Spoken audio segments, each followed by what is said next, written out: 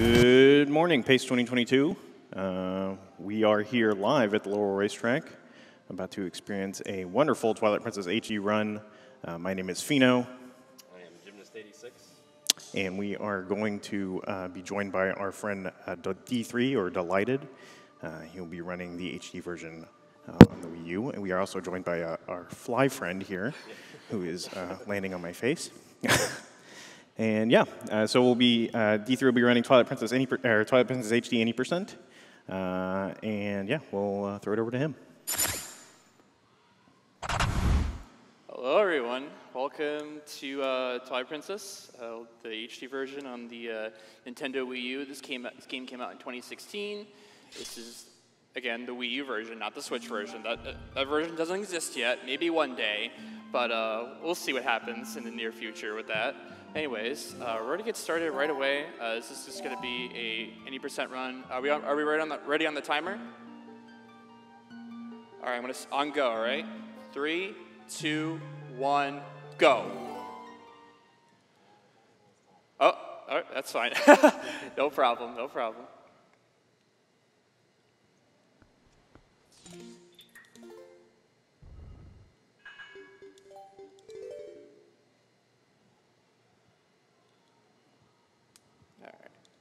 Okay, no problem.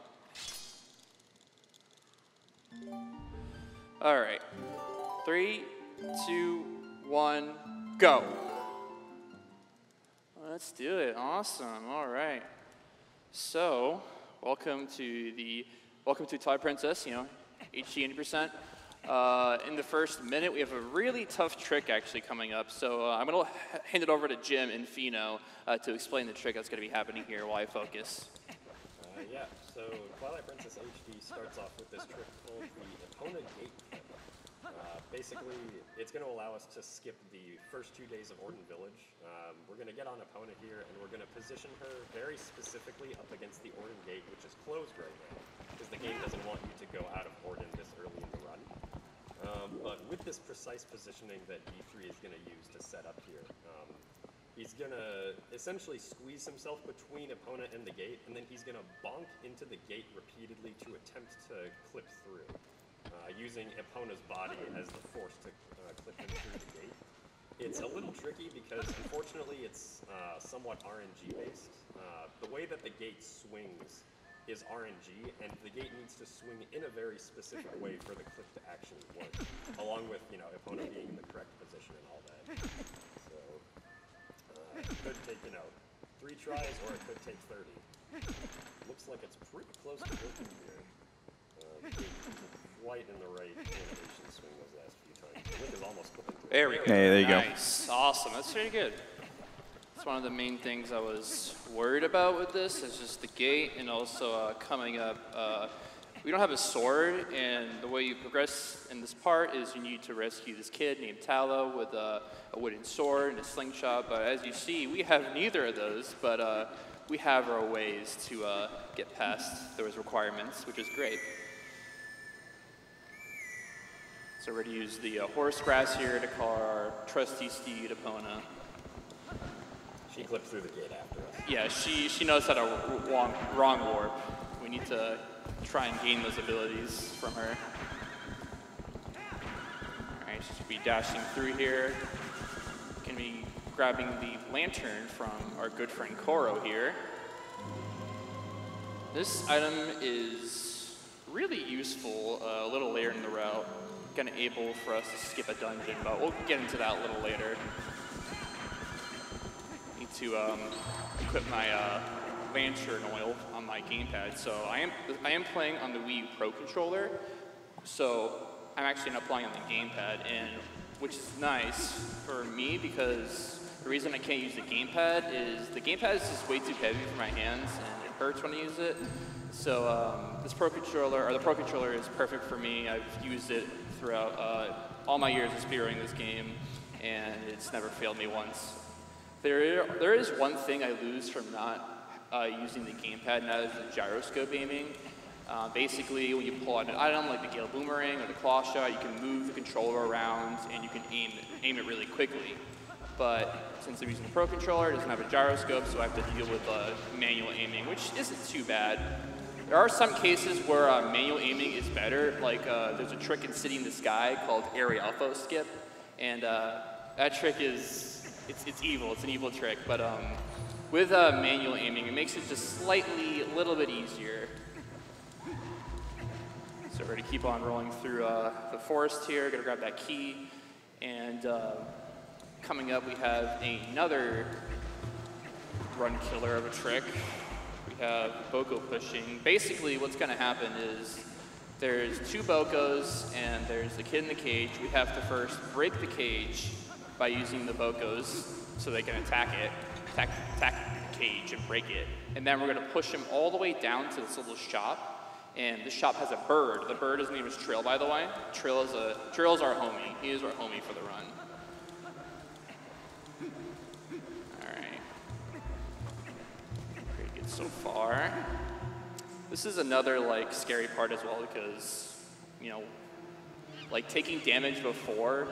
I, I need to be really careful not to die. If I do die, it's completely fine. But um, let's try not to die. It'll, it'll basically just waste a bunch of time. yeah. Yeah. All right. So I'll hand it off to you and Jim to explain what's going on here. Yeah, so basically at the start here, D3's trying to manipulate the positions and uh, attack swings of the Bokoblins so that they break the cage for him. Normally the game expects you to break the cage with the wooden sword. But, yeah, thankfully the Bokoblins can damage it too. And then he's doing here what he referred to earlier as Bokoblin pushing, which uh, is a little bit self-explanatory, but it's a lot trickier um, than it looks because of uh, just how the like Bokoblin collision works. Um, when we're up against the wall like this, we can kind of push him fast because we have that wall to sort of stop him from going away. But once we get away from the wall, we have to target him and then do a lot of micro adjusting uh, to be able to push him over to the shop. Yeah, the Bokoblin tends to like sway left and right as you're pushing him, so you have to kind of react to that and adjust your, your control stick position so that you don't lose him. And yeah, unfortunately, sometimes things like this can happen where he escapes the shop, and then you have to you have to push him back in. And of course, the other Bokoblin that we don't care about being in the way here doesn't help. Die here, but it's fine. Okay, uh, drop a heart maybe? Nope. Didn't get lucky enough. I'm just gonna take the death because I know there's no Yeah, way. just go ahead and take it now. Yeah. Probably the smarter thing to do. Yeah.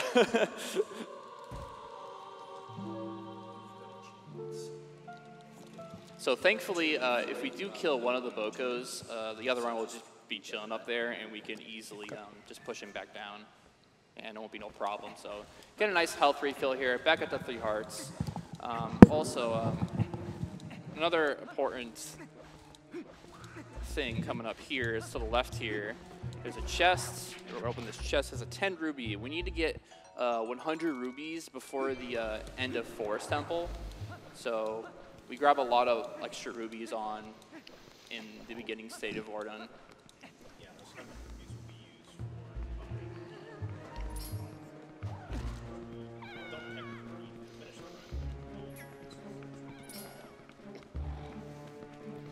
This guy's being very nice to me. Thank you very much. Thank you, my good friend. Yeah, so it's it's kind of a bit of a miracle that the Bokoblins don't attack us. Or like the Bokoblin we're pushing doesn't usually attack us when we're trying to do this, and I'm pretty sure it's because uh, like we're too close to the Bokoblin for it to like trigger an attack. Um, so it's just kind of vibing with the push. All right, not bad, not too bad, pretty good. I'll take it. Now, pretty much, we have a pretty chill run until we hit uh, another trick, but that's wait later on. We're not going to worry about that right now. But we do have a little bit of a nice RNG section coming up here with our good friend, the goats. Every T- TP speedrun does goats at least once, and we have to do goats. All right, so we're gonna skip these cutscenes. Thankfully, the Zelda game allows us to skip cutscenes. Very fortunate about that. Now we have our good friend Howard. Oh boy. oh boy. Let's see if any Howards today.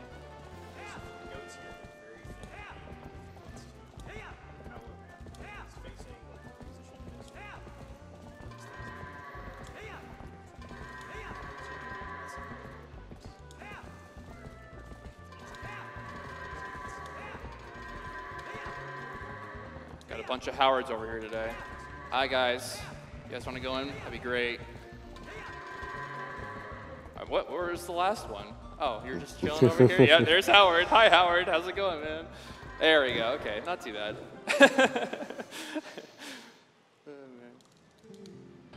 right. Now we're gonna make our way over to Ilia. We're gonna skip a cutscene. Ilia is gonna take her horse away because we apparently hurt Epona. But before we do that, we're gonna jump on someone's mailbox real quick and get some more rubies. Just like that. Very nice. There's two tens behind the house, and then we're gonna make our way over to the uh, the spring once again. Sometimes I like to have my lantern out for cosmetic sake. Like, you don't need to put the lantern there, but I just do it because I think it looks cool. So why not, you know?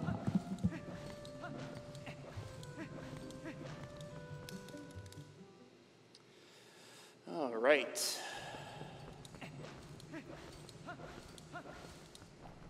So now we're gonna crawl through this little tunnel, and then after that, we're gonna magically transform into a wolf.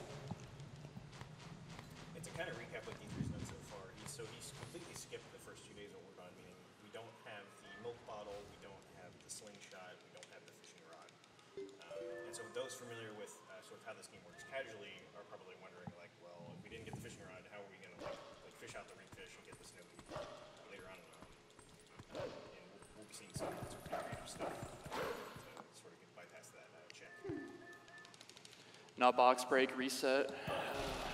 Lost three frames.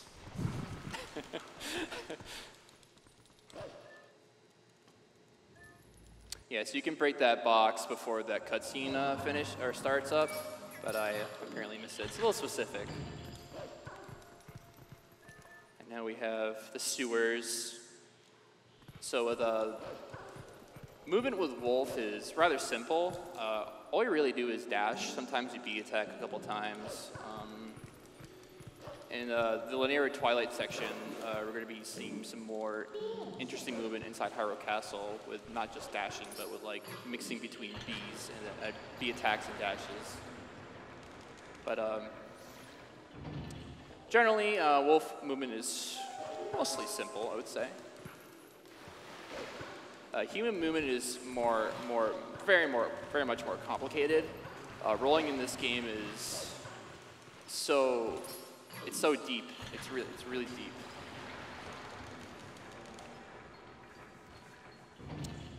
All right, so we're gonna do a B attack here, and a little technique that I, that runners do is we dash at the edge, so we get a dash as soon as we land. It's called a dash cancel.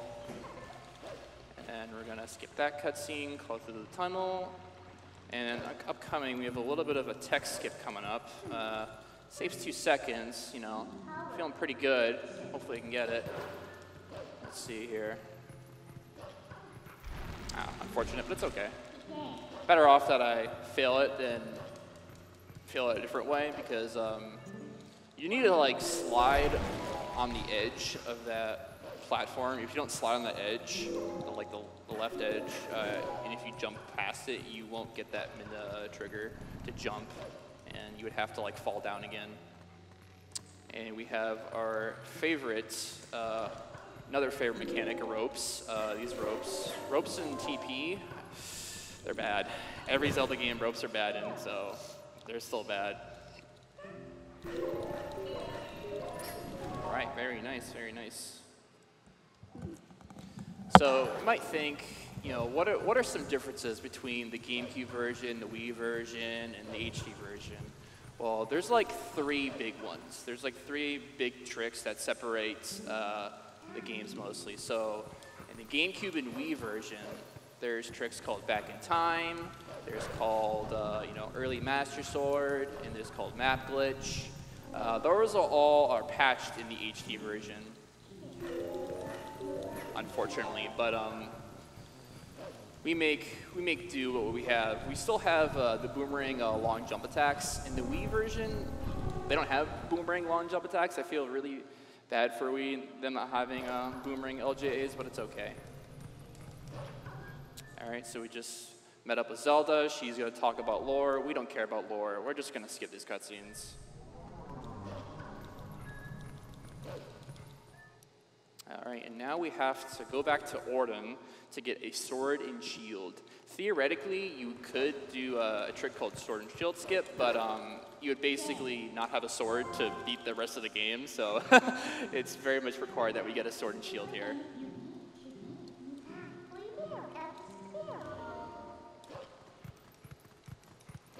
Hi, Hugo. Bye, Hugo. Yeah, so that's the Bokoblin that's used for Sword and Shield skip in the GameCube and Wii version, and he's been named Hugo for as long as I can remember. Yeah, we've named uh, quite a few of the uh, NPCs and enemies uh, in this game.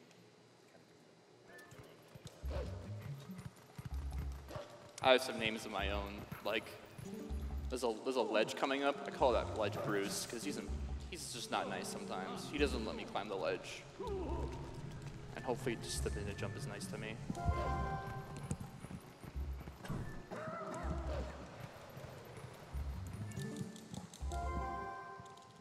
All right, just gonna jump our way over here. Scare this guy. Boo. I mean, I know it was Halloween yesterday, so I guess we showed up late to the party. I'm gonna fall right there, and this is our good friend Bruce. I like to call this ledge uh, Bruce. He just sometimes he's just not nice. Let's see if Bruce is nice to me today. No, Bruce, what are you doing, man? Oh my god. Thank you. Okay. oh my god. All right. That's okay. Got our nice wooden shields with some nice goat horns on it. And now we're going to be getting our Ordon sword.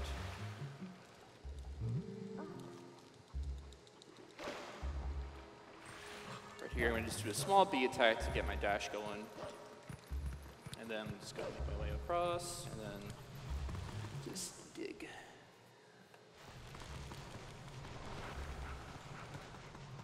Alrighty. We got our sword, we got our shield, we're ready to go. We're all geared up and everything. Now we're gonna head back to the uh, head to Faron Twilight, but before Faron Twilight, we have to um, you have to fight a shadow beast or a shadow messenger. Just to have the game explain us some things. But again, cutscenes, they're not important.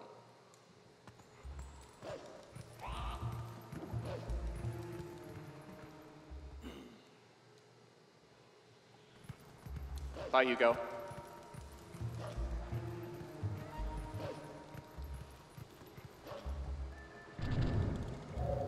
So you saw me like semi-teleport there. I just skip cutscenes and the game just places you there. Skipping cutscenes is fast. So all we're gonna do is do quick spins, quick spinning by rotating the left stick and a circular motion and then pressing the B button in between. Just that circular motion. Gonna finish off that messenger really quickly. That's about the only time we're gonna be using quick spins for these uh, shadow messengers. After the, uh, pretty much once we head into Faron Twilight, we're gonna gain a new ability that Midna's gonna give us called the Midna Charge, and it's basically gonna let us one-shot uh, those shadow messengers, and it's gonna be our main uh, main tool for those enemies. Yes. All right. I'm going to go over a little more differences between the GameCube version and the HD version now. So, in these Twilight sections, generally there would be 18, I think 18 tiers in uh, the GameCube and Wii versions, but um, in the Wii U version or HD version, they uh, got rid of some of the tiers. They got rid of four tiers total, so there's only 12. There's only 12 tiers now. Makes it very nice uh, for uh, shorter. th- There's Twilight sections are still very long, but to have some of those bugs removed is um, honestly a big change in my opinion. There are just some bugs that are um, that are in GameCube you have to go really out of your way for, and there's still some bugs in this version that you have to go out of your way for. But um, relatively, the Twilight sections are pretty tame when it comes to chasing down uh, the shadow bugs. All right, so we just gained the Midna charge there. So we're just gonna use that to kill those guys. Easy peasy.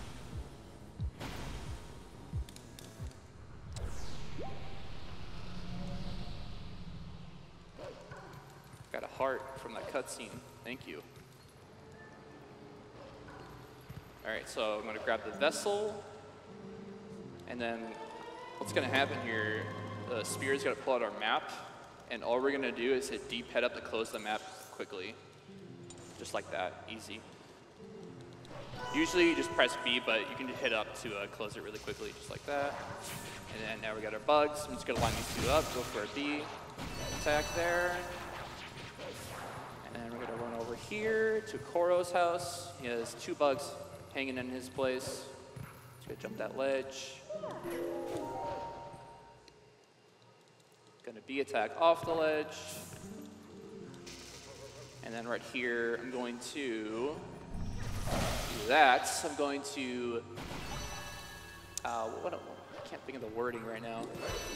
I'm going to uh, can't, uh, uh, unsense uh, before I kill the a second bug so I can uh, skip that little cutscene.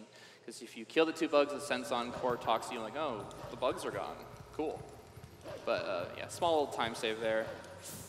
Let's see, that guy went left, so generally if that guy goes left, he's gonna go up towards the entrance of the cave. I missed them completely, it's all right. Ruby count's looking really good too. Uh, around this part of the run, uh, you want about maybe 30 or 40. You know, 40 obviously, actually, yeah, 40. And then we're gonna get another 10 coming up by the end of this next section. Next little big room is gonna be, I think, like four or five bugs in this one room. Skip that cutscene, dash to the right, jump attack. Very nice. Then we have two bugs inside this tree trunk. Alright, very nice.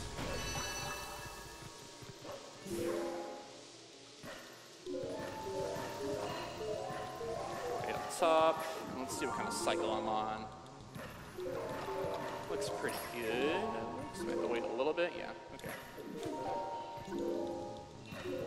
these two bugs are kind of frustrating at some sometimes, so I'm gonna try and dig them out at a specific uh, position here. Let's see if they're nice. That looks pretty good.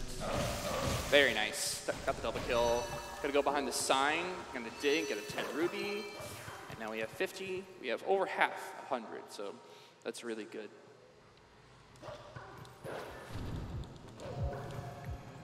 Oh no, I failed EMS. I have to try again. so for context, uh, this would be the Shadow Beast fight. Uh, you would do the early Master Sword uh, sequence break. But um, obviously it's patched, so just gotta kill him. Yeah, they um, they patched in actually two different ways. They prevented the uh, the specific Shadow Beast we used from being able to do the long attack that we used to jump up out of bounds in that area with, and they also just added invisible walls all around the area. So uh, that's a twofold prevention method. It is actually still technically possible to do EMS, but it takes like 10 hours to do because it involves doing a really slow glitch called uh, a rupee slide. So, not exactly worth it in the name of speed. So right there, I just did a one-frame backflip to skip a nice, nice session of text boxes. Would my commentators care to explain how I just did said text box skip? Yeah, so in this version of the game, uh, it's really useful because it has something called input buffering, where um, before Link can move coming out of um, an, an, event like a cutscene or something like that, uh, you can just hold the button combination that uh, you want to input, and on the first possible frame, uh, it will just input for you. So for tricks like that, where you want to backflip on the very first possible frame, um, all you have to do is hold like L down and A, and then it'll automatically uh, input once you get control uh, allowing a lot of uh, one-frame tricks like that throughout the run. Had to be much easier in this version. Decent rolling, decent rolling. Nice, nice. Right here we have, coming up, a little uh, small escort mission where we're going to be, um, you know, following this monkey for a little bit. So, and you can speed it up by just pushing him slightly, but, you know, generally We just want to make sure the, uh, the monkey, our monkey friend here, doesn't get scared by the enemies. So um, if there's any donations, feel free to read them off.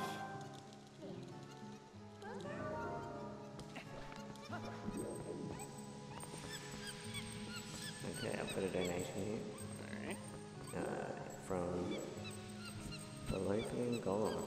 It says it's five dollars. Link won't be skipping leg day today. Good luck, D3. It's been fantastic to see you get here. Love heart. Thank you, thank you. Thanks for the donation. Awesome, awesome. I think we want to see Leg Day today.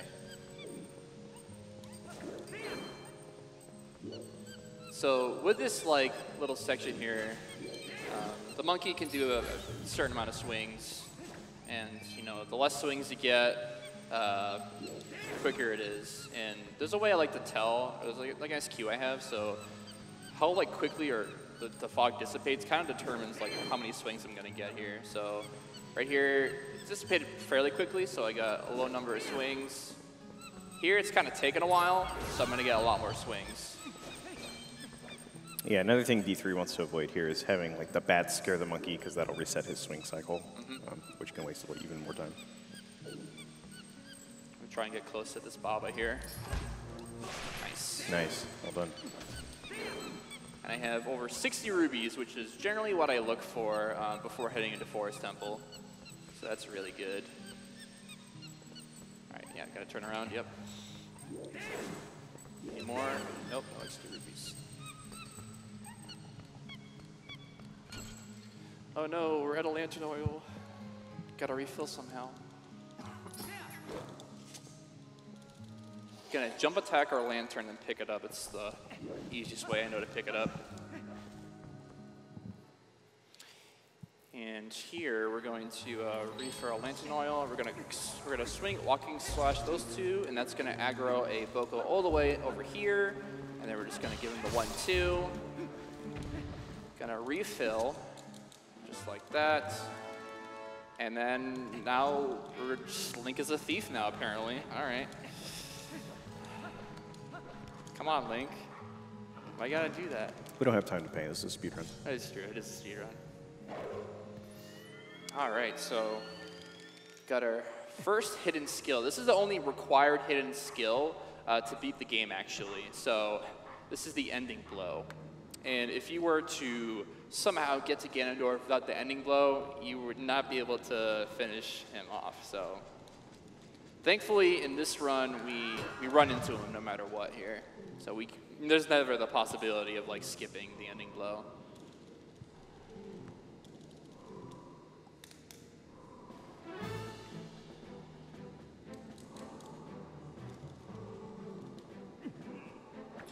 Right, just gonna do a jump slash, another one to get closer. There we go. Easy.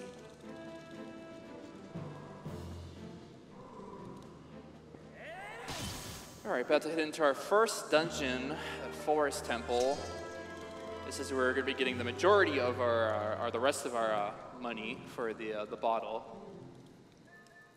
And uh, we're also to be wasting lantern oil as well while we're inside the dungeon. Very nice rolls, very nice. Okay, here we go. So in this first room here, um, there's going to be two pillars. And they're both going to have a pod on them, and then both of them will drop a five. I'm only going to grab this one because I have a good amount of rubies, and I don't think I will need that one. Also, this Keese is following me. Hi, buddy. Come here. I'm going to bait that guy over. Kill that spider. Oh, come on now. He's not dead. No, just break the cage. Thank you. okay, he's just standing right next to me. Is he okay? He's vibing. yeah, he's vibing. Yeah, you're right. Alright, we're just gonna finish him off real quick. And then I'm gonna attempt to skip this, uh, killing this spider here. It Actually looks good. Yeah, this is great. Very, Nice. very nice. Awesome. That is great. So another quality of life change you might have not noticed is that uh, climbing speed is greatly increased. Um, with uh, ladders, vines, everything. So there's a later point in the run where we're climbing a really long ladder, and you'll s- see the, the speed Link climbs at. It's, it's crazy. So I'm gonna kill that uh, here, and then I'm gonna do a uh, input buffering backflip here to get closer to the door. Can't skip the text, but we want to get closer to the door. There here, I'm just gonna do a jump slash. I always do it in my runs. Very nice. There's gonna be a uh, spider web here. Just gonna burn that, and then I'm gonna leave my lantern oil out, just letting it waste. Gonna do some rolls, call these platforms. So right there, I rolled on the little the side, the edging of that uh, staircase, and the reason I did that is because if I rolled on the steps, I would have gotten a really fast roll, and there's I was gonna bonk.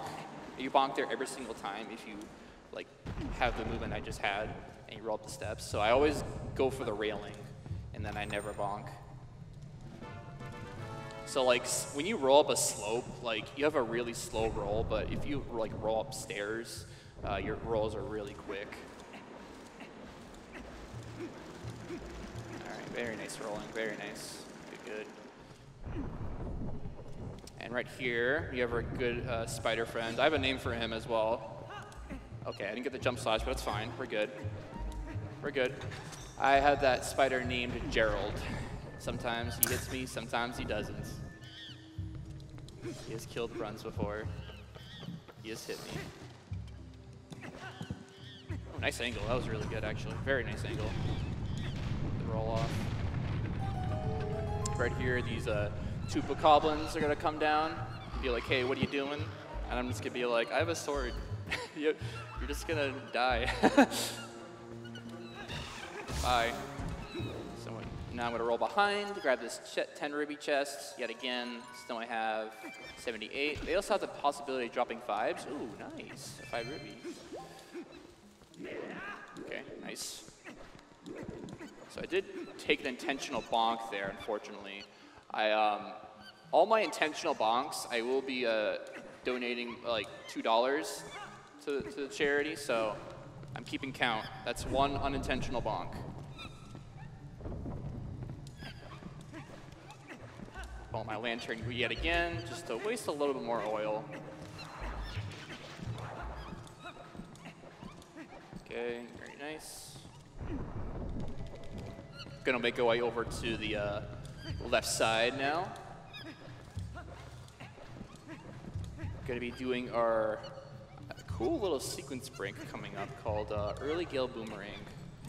Uh, usually you have to save a total of five monkeys, but with this sequence break we only have to save two, so it's very nice. Have to save about half the monkeys. Yeah, and the only reason we have to save two is just to get to this side of the dungeon. Once we're here, we don't need them anymore. Yep. All right, so what I'm going to do is I'm going to call Midna uh, when I get to the edge of the dock here, and while the wind is blowing, um, while the wind is blowing, when you call Midna, the bridges will turn, and I'm just to try and like, there we go, very nice. And I'm to call Midna again to turn the bridges. I'm to pull out my lantern to waste more oil, swing my sword, very nice, here we go. Do a mid-air jump slash to cross that gap. And then I'm just gonna wait here, wait for the bridges to turn, then I'm just gonna do a roll, roll jump. Nice. And now we're at Ook, just like that. Yeah, so the reason you can't just do the roll jump on the first set of platforms is because the game intentionally puts an invisible wall between them when they're turning, because the, the developers probably figured out you could just do that, and obviously they didn't want you sequence breaking. Two, three, four, five, six, seven. Okay, seven, not too bad. I mean, seven's pretty bad, but it's okay. So Ook here is RNG. He can hop, he can just hop. Eight, nine. Okay, okay, not bad, not bad, not bad. That's pretty good. All right. Uh, I've gotten like a 27 hop Ook before, so this this is good. That was good. I'm glad nothing bad happened with Ook. and now we're gonna get the most broken item in the game. How fitting that most Zelda games, their first item is generally very broken. Grappling Hook in Wind Waker HD is crazy, and so is the Gale Boomerang. The slingshot is busted in Ocarina of Time.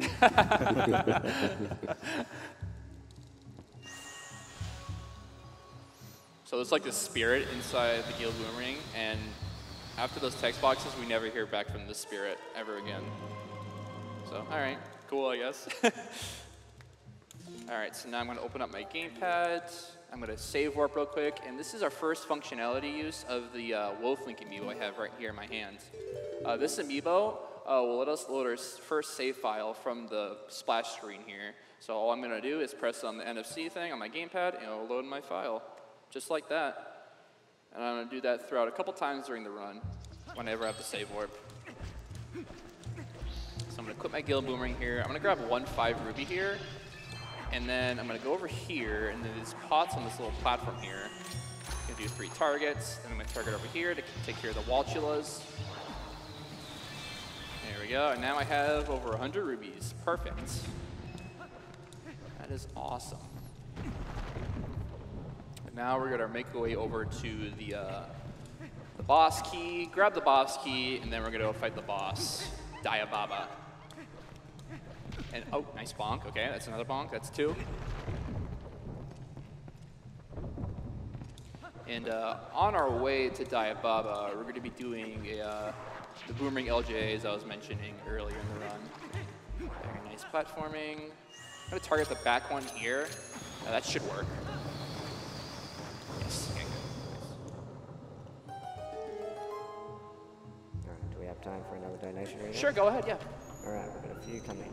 So we've got $5 from the Ethernet boys. Good luck with the run D3. Sending good luck for a very cool trick later in the run. thank you, thank you so much, Ethernet. and then we have $5 from Shank, 788. Good luck on the run today. Thank you so much, Shank. Appreciate it. And the final one that we have entered into the raffle for the Nintendo Switch giveaway is $25 from the Bean Seller. Good luck, D3. Let's hope the game doesn't crash again. Smiley. Oh boy, yes, game crashes. Oh boy. So um, there's a there's a there was a notable part. I was doing a, I think I was doing any percent at the time, and a little bit after Midna's Desperate Hour, during Min- Desperate Hour, I had a random game crash, and I was like 30 seconds ahead of record, and it was unfortunate, but it's okay. So right here we got the Boomerang LJAs. Basically, we're gonna have the boomerang go over the empty void, and then we're gonna do the jump attack, and then we're gonna launch ourselves. I like to call the, the boomerang the yeet stick, because you know, we yeet it and then we yeet ourselves. All right, and here we go. We got our, uh, we got the first boss here, Diababa. There's a really cool strat um, uh, called Ooglis that's going to happen in the second phase. Um, if one of my commentators would like to explain it, that'd be great. Why focus? Sure. So, um, what D3 is going to be doing uh, for the first part of this fight, um, or at the end of the first part of this fight, is pulling the two bomblings um, close to him. Uh, and the purpose of this is uh, to uh, carry the bomblings uh, to the second part of the fight, uh, kind of abusing a couple different things. Um, one being that the timers on the bombs actually do not run during the cutscenes. So even though you're going to see them here on the ground, uh, sort of ticking away, they're actually uh, they still have quite a high timer on them. Um, so kind of abusing that fact, and then also abusing the fact that whenever you uh, catch the bomblings uh, in your boomerang, it actually will reset their timer back to the original uh, starting timer. Um, so kind of combining all these things together, you can uh, bring those two into the second phase, and then uh, uh, hit Diababa uh, much earlier than you would normally be able to, um, because normally you have to wait for Ook to come out and bring a bomb. Um, and then you can do that and sort of juggle the bomb uh, while you hit her. Very, yeah, very nice fight. Um, and then uh, hit her again with the second one. And yeah, this save, the trick saves like 40, 50 seconds. That was really clean. Let's yeah, go. it was very clean. Yeah, good job. I will say that that um, that part where the boomerang went around was a little scary, but thankfully it still caught the second bomb. Yeah, Yeah. D, D3 kind of made it look easy, but you can very, very easily have the bomb just uh, go too close to the wall and just explode for no reason, and then you have to wait out the the ook cutscene and, and wait for him to bring the bomb, and it, it wastes a bunch of time. So, yeah.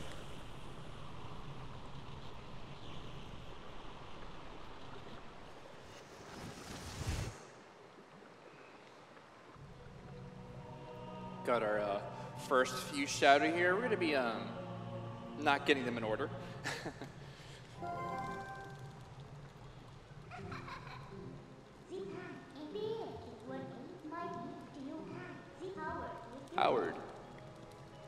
A Midna. So Midna also likes to say Howard. So Howard is all over this run. There'll be plenty of Howards. There we go. That was uh, that was the first dungeon. Very nice, pretty clean dungeon. And now we're going to be moving on towards the next part of the run. We're going to make our way over to uh, the Eldin province. But before we do that, we're going to talk to our good friend Coro and buy this empty bottle that I, I spoke of. But wait, you forgot the heart container. Ah, no. Fake 100% run. Dang it. no. We've got a massive donation. Can I read it out? Oh, yeah, sure. Go ahead. Alright, so we have $500 from Matt Moldy. Okay. Oh, yeah. Great okay. game, great runner, great commentators. What better way to start a Tuesday? And that enters you into every raffle. Thank you so much, Matt. And a massive donation. That's Thank you. Amazing. Thank, thank you. Thank you so much. It's really, it's really, it's really great. All right, so now we're gonna make our way over to Eldin Twilight, and we're gonna roll. We're gonna roll lots. If anyone, uh, if anyone commentators want to explain how like r- rolling really works, like in depth, like feel free to. Yeah, so rolling is uh, the the thing that affects rolling the most in this game is the terrain, specifically the slope of the terrain that you're on, right? So generally, or not generally, you always have your fastest rolling speed if you're rolling over perfectly flat ground. Uh, you get a roll speed of I think it's 32.9. Yes. Yeah. Um, but and then if you're rolling downhill, like on a downward slope in the game, um, your rolling speed is it's hindered very slightly, but it's not really noticeable. So rolling down uh, generally does not hinder your speed very much. But if you try rolling uphill in this game, uh, even on like you know a, a 0.1 degree incline, uh, the game will very drastically hinder uh, your rolling speed down to like a maximum of 27 which is pretty noticeable once you like actually start getting used to seeing it. Uh, and it'll go down even further if you do not consistently chain together frame perfect rolls. Uh, so whenever D3 is like rolling up slopes in this game, he's trying very hard to consistently uh, do frame perfect rolls one after the other so that he doesn't lose that additional speed uh, that the game would take away otherwise. Yeah, sometimes like when I was in Forest Temple back there, I would always say like, "Oh, good rolling, that was really good." Just uh, I always make sure my rolling is on top and like all that stuff. I have like a certain rhythm. I do- I just double tap the A button to time it. And right here, we got another Shadow Beast fight, and then I'm going to perform Gorge Void with not even looking.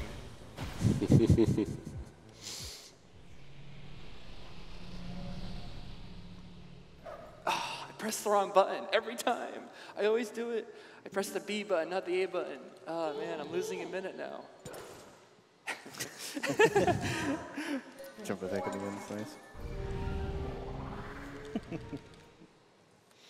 Yeah, so uh, in the uh, GameCube version, there's a uh, trick right there called Gorge Void, where you have to press the A button frame perfectly to get a jump attack, and uh, it saves you about 50 to 50 seconds to a minute, and um, it's one of the it's a it's a run-defying trick basically, I would say, very run-defying trick, and uh, we can kind of just meme on it with HD. Um, unfortunately, um, it's not useful at all to do Gorge Void in HD. If we had early Master Sword, maybe, but um, it's not useful. So I just kind of kind of meme on the trick every single time. Yeah, it's a, a bit unfortunate because uh, you know it, it would it would be completely consistent if you know Gorge Void was useful in this game. Yeah. Yeah, so D3 actually doing a slightly different route. Up until this point, he's mostly done uh, what the a casual uh, runner would, would do through the, uh, the route of the game. Uh, but at this point, we're actually deviated. Um, so normally right now, you're supposed to warp the bridge uh, to Cat Gorge and then go to Kakariko Village. Um, but it turns out it's actually slightly faster to, uh, instead of warping, warping to North Faron, warp to South Faron and then go out the exit again and come over here and do a glitch and, and go complete some of uh, Lanayru. Um, so we're going to see that right now. I'm Gonna do a spin attack to get those guys out of my way, and then I'm gonna line up and hopefully it'll line up correctly here. And perfect. Excellent. nice. Smooth as butter. Let's go. Shoutouts to I believe it was Taka who made that setup. Yeah, because originally that gate clip right there um, was done the same way that the gate clip at the beginning of the game was done, and it was it was really dumb. So thankfully, uh, Taka figured out the a much better way to do it as Wolf Link, um, which is also why it's useful in HD because we don't we don't have the ability to turn into Human Link right now. All right, so we're just see our, our good friend Fyer over here. He is going to be such a big help for us to get where we need to go. He helps us so much throughout the run. It's crazy. Yikes, it's a monster. All right, so gonna go fight this uh, Bulblin Archer here. He's gonna be on a Kargarok. And then I'm gonna try to uh, just get close, make sure the arrows just travel at a short distance. I got hit, doesn't really matter. And then I'm gonna try to get up on this incline here. And I'm gonna, let's see, what is he doing? Okay, there we go. I think I'm gonna jump attack him. I'm gonna do a backflip. Then do another jump attack to uh, quickly get a one cycle. And then I'm just gonna Midna charge the Bulblin, and uh, that'll be the fight. Just like that. And then hopefully, yes, awesome. I got a small, got a small break slide there. Styling. All right, and in this uh, Kargarok, or Kargarok flight, I'm going to try to clip out of bounds here. Um, it's a little precise. Hopefully we can uh, see the out of bounds here. All right. Looks good. Yes, perfect. So welcome to Out of Bounds. Only, So the shape of the map here is kind of odd. Um, so it saves just a small amount of time to actually clip out and go straight to the exit. Um, as you can see, kind of see there, it kind of deviates to the right and then comes back to the left. So you can kind of avoid having to go that roundabout way when you clip out like this. Very bright.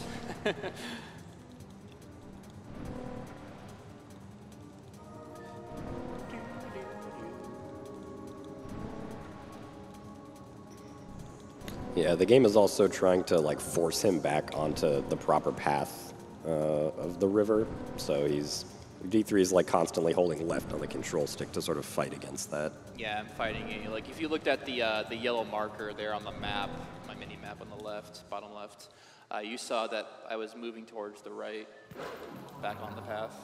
Right there, I did another input storage jump attack to skip another text box, and then I just jumped off right away.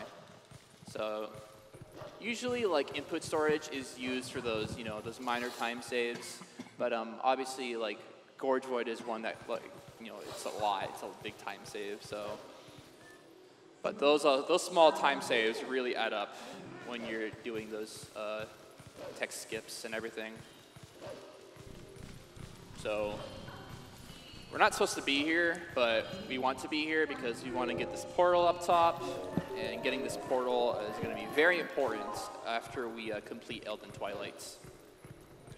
And I guess while we're here, um, going to just quickly explain uh, why I was, you know, gathering that bottle. Why, why was I, why was I wasting oil? All that stuff. So, basically, after Eldin Twilight, we're going to be skipping Goron Mines, which is the second dungeon of the game, and we're going to do that by uh, using a, uh, using the cutscene of Link refilling his oil to basically fall down out of bounds, and then we're going to, uh, then we're going to dash into the Lanayru Twilight trigger. It's a very cool trick. It's it's called you can call it a Epona dive, you know, bottle dive, a bunch of different names for it.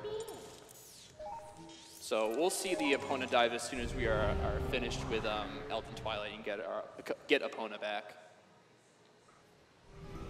And uh, now we got Eldin Twilight coming up. Now Eldin Twilight has a uh, very difficult trick in it called the Wolf Bombhouse Skip, and I'm going to be attempting it.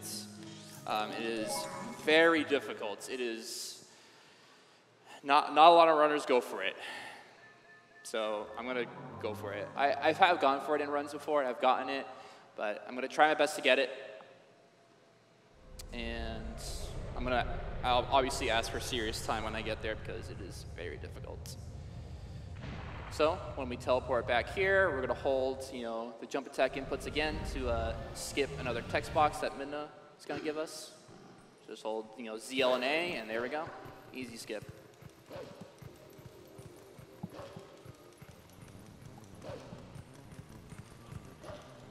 Alrighty. Uh, can I get the frame perfect dash? Uh, no, bad frame. Not frame perfect enough. So out of those digging spots, uh, you can get a, a, frame perfect dash but you can't buffer it, so you have to just mash for it. Come here, guys. Thank you. I'm gonna gather those guys up at the bottom. And hopefully this fight goes well. Okay, I bonked. That's fine. Okay, unfortunate. I wanted to target the one on the right first, but I didn't. But it's okay. Okay, I need you guys to get away from the wall, please. Thank you. Okay, whatever.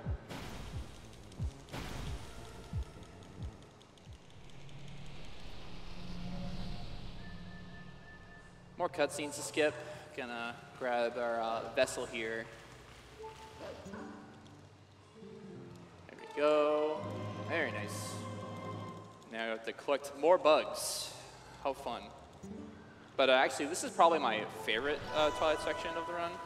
Um, all the bugs are like very compact into two areas, and the areas are very close to each other, and has this Twilight section just has a lot of cool movement in general as well. So again, more cutscenes, more lore that we're gonna skip Gonna pick up this uh, stick here after the text boxes. And we're gonna do one, two, three, four. Count to four, let's go. I'm gonna need to count to four a little later on in the run too, actually. But let's see if I can get, all right, oh yes, okay, nice. we're, we're playing golf today. Nice, hole in one, nice. Basement bugs are a little bit finicky. Okay, not bad. Just gonna warp out of here. So the bugs they moved in this area, there's the graveyard. Uh, where else are the bugs? They moved a bug in the hotel. And I'm trying to think who else. Oh, they also removed a bug in the watchtower as well. That is right, so. Yeah, one in the shop as well. Oh yeah, one in the shop, Malo Mart as well, yep. yeah.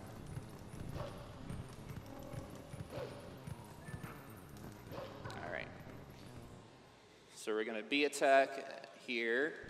We're gonna grab onto the ledge, put our sense on, light the torch, and then we're just gonna do that. Stand over here to try and keep the bug up. All right, nice, very good. We want that bug to stay up top here. So we don't need any more. We don't need anything else from here. And we got the bonk that saves, that loses zero times, so that's really cool. That is an intentional bonk. That's not unintentional.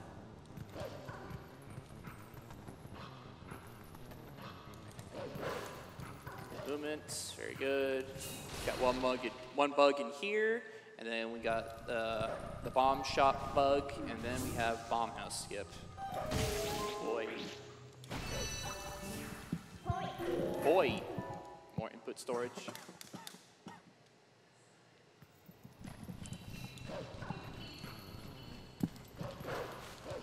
Very nice. Okay.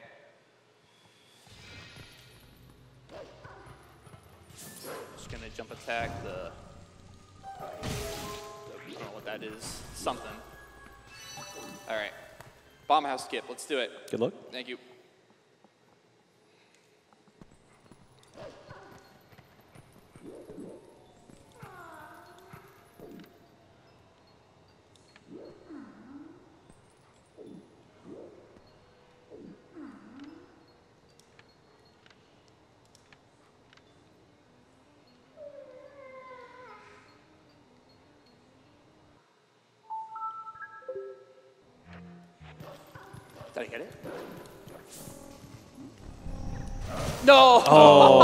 wow, the luck. No, the Kargarok, man. No way. Wow. No way I had that. Okay, so that Kargarok uh, can't get in the way. I took a little too long there uh, to make my jump. I just really wanted to make sure my position was like perfect and everything. And unfortunately, it was good. I just took way too long. So unfortunate, but it's okay. I still, I'm, I'm still proud of myself. I, I I made the jump, and I, you know, I count that. I count that actually. Yeah, yeah, Yeah, that, that- that definitely counts. I'm that was that was the difficult part. Yeah, that was the difficult part. Yeah.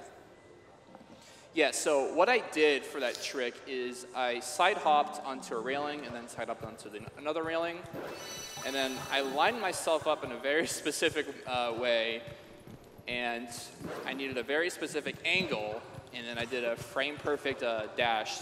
I, I opened up the home menu to buffer um, a, an input to get a frame perfect uh, pause. And then all I did was an input storage from the game pause menu by holding the A button. So, and that's how I was able to make that jump. So, that was good though. I still, I'm still very proud of myself. I was very scared of that trick, but I'm just very glad I, um, very glad it just went well. I went really well. Now we got Death Mountain here. There's three bugs here. gonna try and walk around that bug, trying to push him away. I can grab that tear really quickly. Also, you might notice uh, I'm picking up tears really quickly. Um, in the GameCube version, you have to like linger uh, like for like a couple seconds to wait for the tear to settle, and then you'll be able to pick it up. So, but in the HD version, you can just pick it up straight away, it's very convenient. Another nice quality of life change. What is this guy doing? He's just staring at a wall. Come on, man. He was dubbed the wall inspector for today. Yes. Oh, that's right. I have another name for those uh, those uh, shadow beasts that look at walls. Walter. oh no. Okay. Fortunately, didn't make the steam cycle here, but it's okay. It's because of Walter.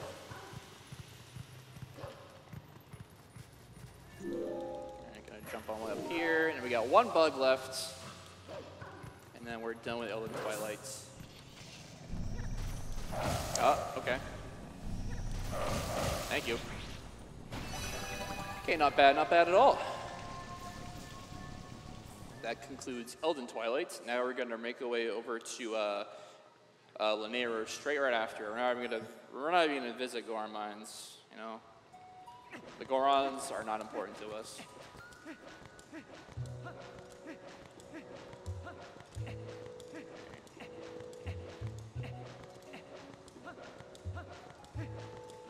Very good rolling. Not really slowing down that much, which is good. Oh, okay, dropped a roll there, but it's okay. All right, so we're gonna do a little strat here. This is Goron that's gonna be just waiting for us. And we're gonna line up on like the left side here, right about here. We're gonna pull out our sword, turn around, and then do a backflip, and then do a, an auto spin off of that. So I've got a sword, turn around, backflip, spin attack. And then we're gonna hold an input storage backflip, and then in the middle of that, I'm gonna pull out my lantern there. So when you're doing a jump slash, a backflip, uh, you can do a, uh, just an automatic quick spin if you have your if you have your sword out. So you do the backflip, and then you just rotate the left stick, and you'll automatically do a spin when you land.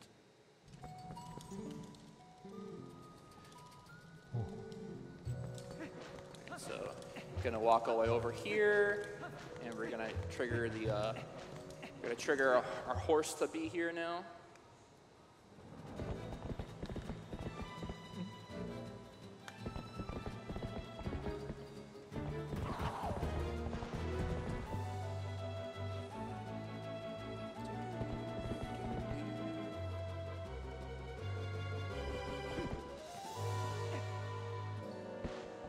Yeah, so for the most part in TP, uh, cutscenes are skippable, but there are certain ones like this one which are, I guess, kind of deemed more important uh, that you can't skip. Yeah, there's uh, more instances of like important cutscenes in the run, like getting the Master Sword, um, There's also this one cutscene in Arbiter's Grounds where you just wait for four, four to take a flame and they leave. like, I guess that's important, but you know, it's all right. Howard. Now we're gonna make our way over to Lanayru. We're not even gonna bother with uh, getting our iron boots quite yet, because um, we don't want that. We s- we don't want to progress the story the right way. We want to kind of break it a little here.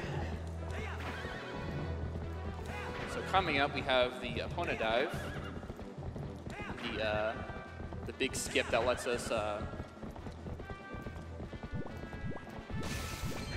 skip Goron Mines. There we go.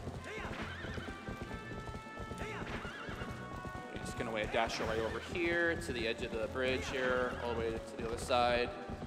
Pull my lantern right about here-ish. And then going to equip the bottle. But I don't want to use my lantern quite yet.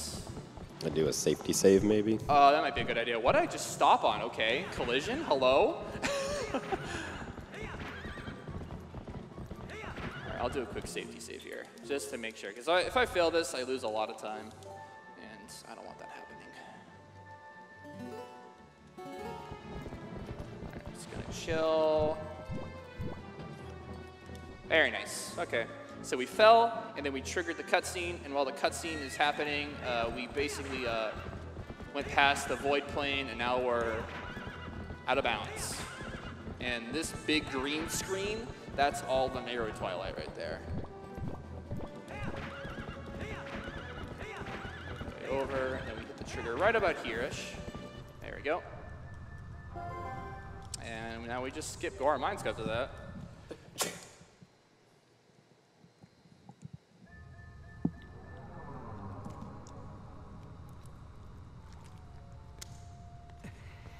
Got a uh, input storage jump attack here. So there's like a keys flying around over here, but we can target it. And then skips the text box. Gonna make our way over to Death Mountain. And that's when the uh, big meteor is gonna fall. Because when you clear uh, Eldin Twilight, the layers kind of change, and then more things, new things will happen in this area, basically. Different things will happen. So this layer change, the big uh, meteor will fall now.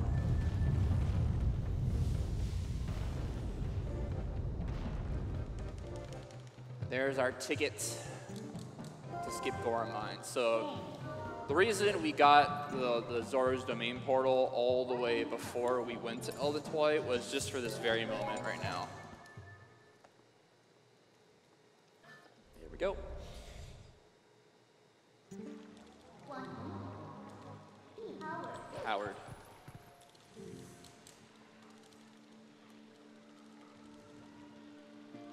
A nice remix of Serenade of Water.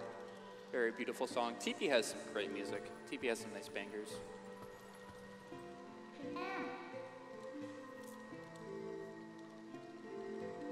Her, she's blinking a lot when I mash the text really fast. Interesting.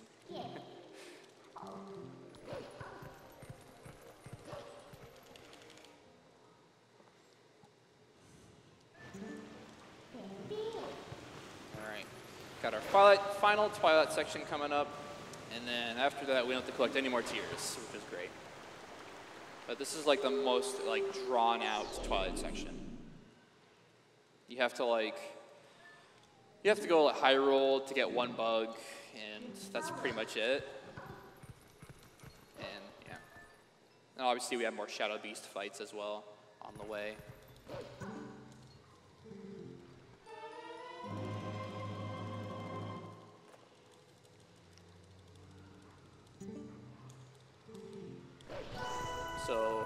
Small difference that I noticed when I, um, whenever I ran uh, SD for the time being, is that they actually changed a small location of a bug.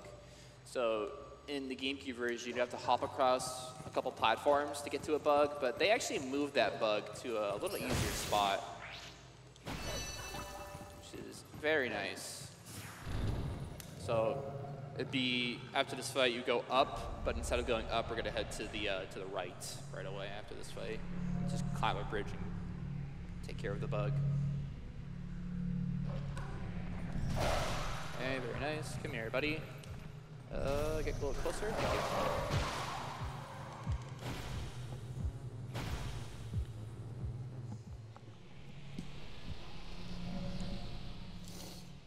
Right here. Bug is just up here. Oh, nope, I warped to the wrong place. okay, that happens. So, when warping here, you want to be a little careful because the portals, like your cursor is already on Lake Hylia, but my cursor was, not, I was trying to warp to Zora's Domain. There we go. That's the right location. That's where I want to go.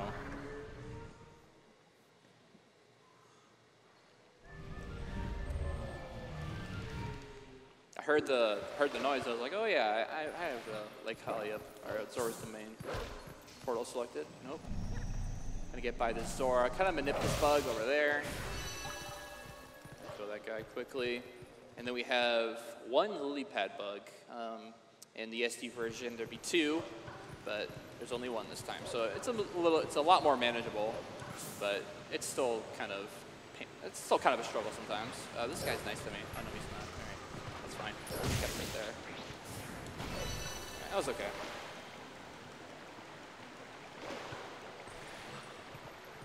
Where's my dash? Okay, there it is.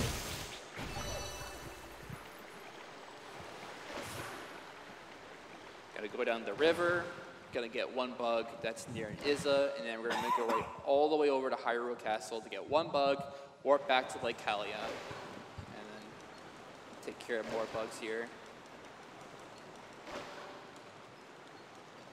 And then after uh, after Lanayru Twilight, we have a little bit of a, I would say like a pretty difficult part of the run, honestly. Like it's probably noted like to be a like a reset point. Uh, there's a lot of stuff. There's a, a trick called uh, King Bulblin 2 skip. There's Bow, and then there's also Lake Bed. Uh, Bow is Bow is just mean. He's RNG. Um, King Bulblin 2 skip is okay. It's not the worst, uh, but Lake Bed can be sort of sort of problems sometimes. So I would say like coming up after Lanayru Twilight is where the run really starts to kick off. Like you'll have, see a lot more uh, tricks, a lot more movement techniques, and that's where the movement really starts to show its true colors. But for now, we're just gonna dash. Why are you so close to the ground, man?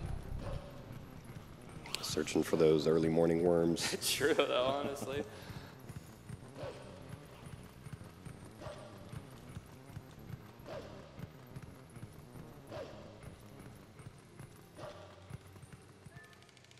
And before we head into Hyrule Castle or Hyrule Castle Town, we got a just a small Shadow Beast fight that we're gonna have to, gonna have to do. And then uh, what I mentioned back when I was at the sewers, uh, we're going to be seeing a technique called B attack dash canceling, where I'm going to do a B attack in between my dashes uh, to kind of like refresh the timer of my dash.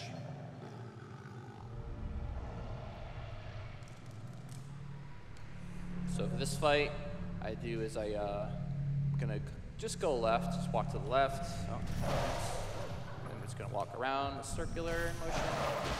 Take care of those guys. Really simple.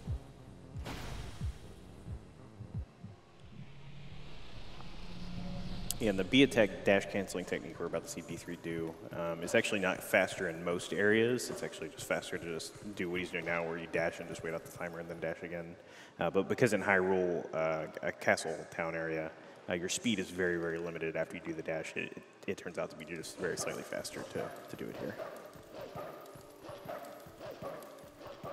So I'm doing like a small rhythm. I'm hitting uh, hitting A and then B, like one two, one two, one two, one two, one two, one two, one two, one two, one two, one two, one two. Just sort of like that. And I'm gonna do a side up here. Hopefully I get some good RNG here. Eh, nice, okay. Nice. Pretty good. Yeah, that bug can be a little bit annoying if you hit the box the wrong way. Mm-hmm. Sometimes mm -hmm. he uh, he likes to stay up on that ledge and invincible and just kind of yeah. circle around.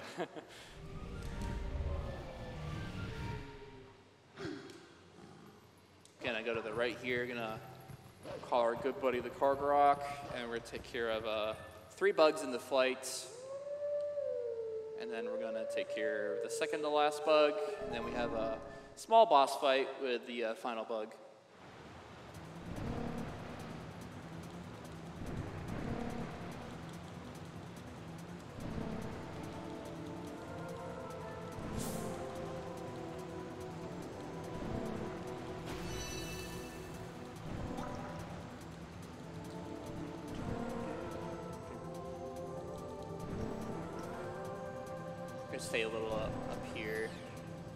I can stay more straight and have to weave around. Dip a little bit here. Good. Nice. Then we're just gonna bonk here. And then we're just gonna mash B. Mash B will auto uh, just say no, we don't want to try again. We don't want to try again because as soon as we uh, respawn here, uh, we're gonna be right next to the second to last bug. Hello. And now we have the bo boss bug.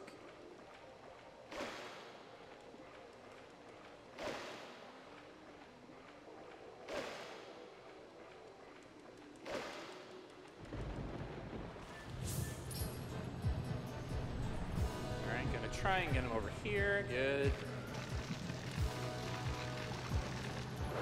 So after I unlatch, I'm going to pull, go into first person. I'm gonna angle my camera in this area-ish, and it's gonna try and like, it's gonna manipulate him a little bit to head, him head, heading, heading towards me, head forward.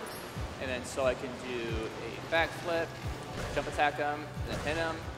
Very good. So I'm gonna do the same thing, but get on the other side. If it works out too well, I'm just gonna line in between these two little platforms here. Uh, this is not looking too good, but we'll see what I get here. I think I'll be good, actually. Just give me a weird pattern. Yeah, just give me a weird pattern. Good. He's really high up. Very nice.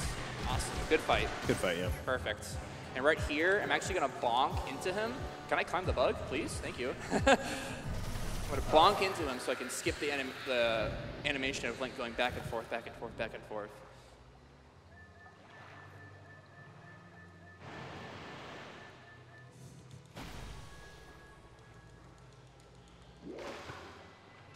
And with that, we are done with all the Twilights. Awesome.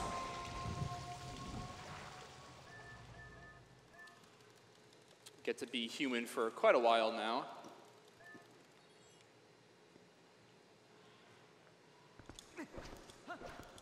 Now we, um, while, while I was in the bomb house, I actually picked up some rubies. So I picked up two fives, and we're gonna need uh, our good friend Fyer uh, to launch us towards uh, a direction of Hyrule Castle. And um, if we had the if we had EMS or Master Sword, we'd just be able to warp. But um, since, since we don't have it, we have to use uh, Fyer here to get back to um, to Hyrule. So it's our first use of our good pal Fyer. What's up, buddy? Sure, I'll give it a shot. Why not?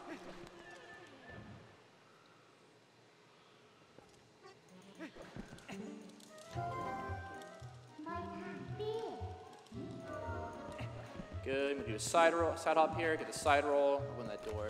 Really nice, clean movement. This is like so. This hill right here coming up is gonna be. Uh, let's see if I have some good movement because um, this is where you can kind of see the difference between like having like slow rolling and good rolling.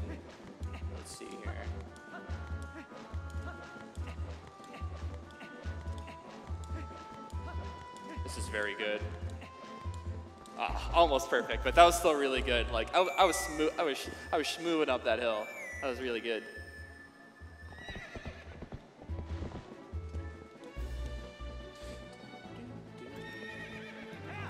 Oh, come on now, let's go.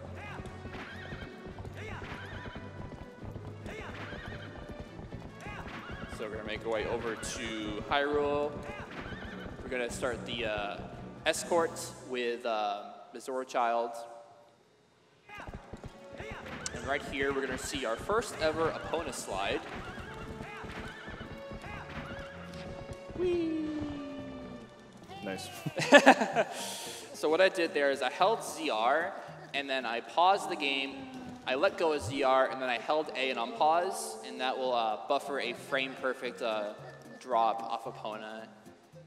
And yeah, yeah you, you can slide off of it. It's a, it's very cool. You'll see it a couple more times throughout the run. And hopefully that'll be the last time we see the mailman as well. Uh, okay, you're just in my way, pedestrian, please. Oh my god, please, what are you doing, man? uh, why is there so many people here? Jeez, crowded today. It's popping off. Yeah, it's popping off. They're here for the Halloween party. Yeah.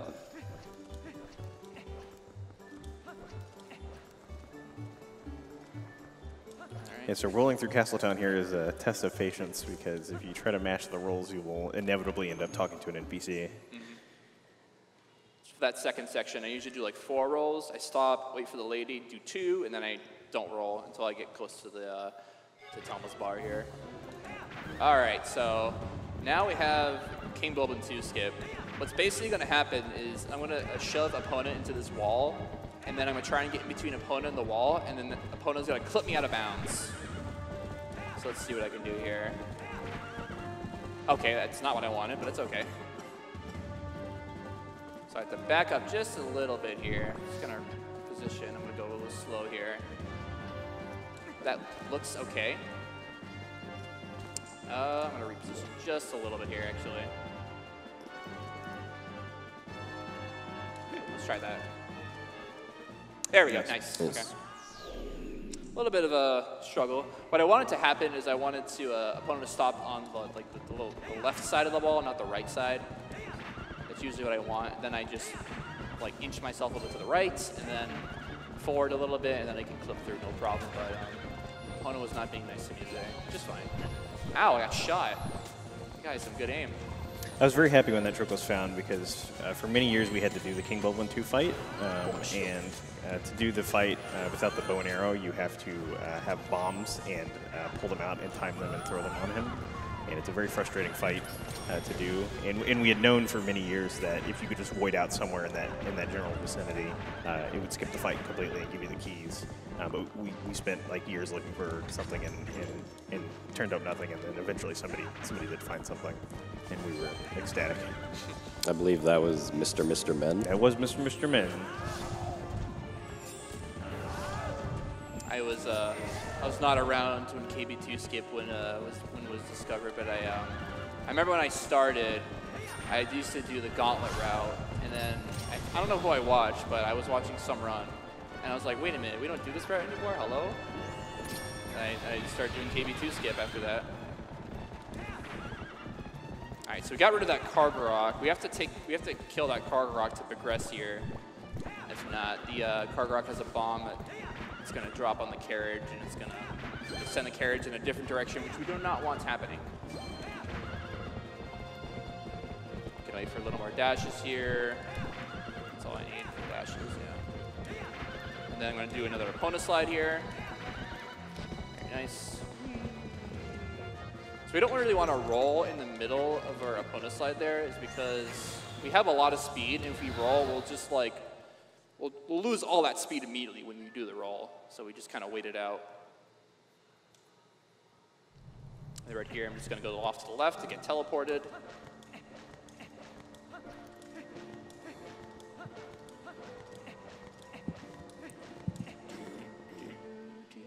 And then that LJ uh, D3 did at the end was to uh, skip a minute trigger that uh, wants us to wait for the carriage to catch up, to us, uh, so we don't have to actually wait for the, the carriage for the whole ride. We can just go straight to the end. Yeah, so like the, the requirement like there for the LJA was, you know, it being out of bounds, and out of bounds is basically just a giant void, so that's what I looked for.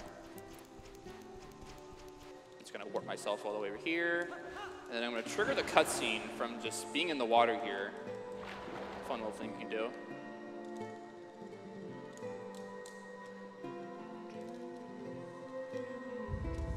All right, got our Zora armor. This is going to be very useful throughout the run in uh, getting to lake bed, fighting Morpheel, uh, you know, fighting underwater Zants, and also swimming in some sections. Uh, there is a downside of Zora armor. Any fire or ice hit will do things like double damage or something like that. But um, even more moves, like there's also some moves that just like insta kill, like Armogohma's laser or uh, Argorok's fire will just one shot you. Also jumping in lava. That is another thing, yes. Instant game over. Oh, I wanted to equip this armor. Thank you. There we go. And so we're going to be having the Zora, on, Zora armor on for basically the rest of the run. Thankfully, we will be not going, going towards any lava in this run, but there will be an instance where I'm going to have the Zora armor on, and there's going to people sh- be shooting me with fire arrows. So I will need to be careful. I am only going to grab only one heart container in this run. Nice sign. Uh, I'm only going to grab one, one heart container, and I should be fine. Like, and if, if I don't feel like confident, I'll, I'll just grab another one. It'll be fine. I usually only grab Morpheel's heart container though. We'll see if that changes today. Do we have time for a quick donation readout? Sure, go ahead. We got $25 from Electrocity. Now that puts you in the raffle for a Nintendo Switch giveaway. Um, we're raising money for Urban Arts, who provide for the underprivileged game designers. So if you love video games and you love speedruns, it's definitely a charity worth donating to. So we uh, we're kind of doing things a little out of order here. We're getting the Zora armor, and then we're getting Iron Boots. Generally, like casually, it'd be Iron Boots, then Zora armor. So we're doing things completely out of order here. And the reason we want to to get Iron Boots second is uh, one, if you get Iron Boots, uh, there'll be a trigger in front of Kakariko, which will be for the King Bulblin one fight, and we don't want to fight King Bulblin one, so we just um, we just get the Zora armor uh, first, and then we get Iron Boots, and then we just never enter Kakariko from the front. We always warp in, in, into Kakariko.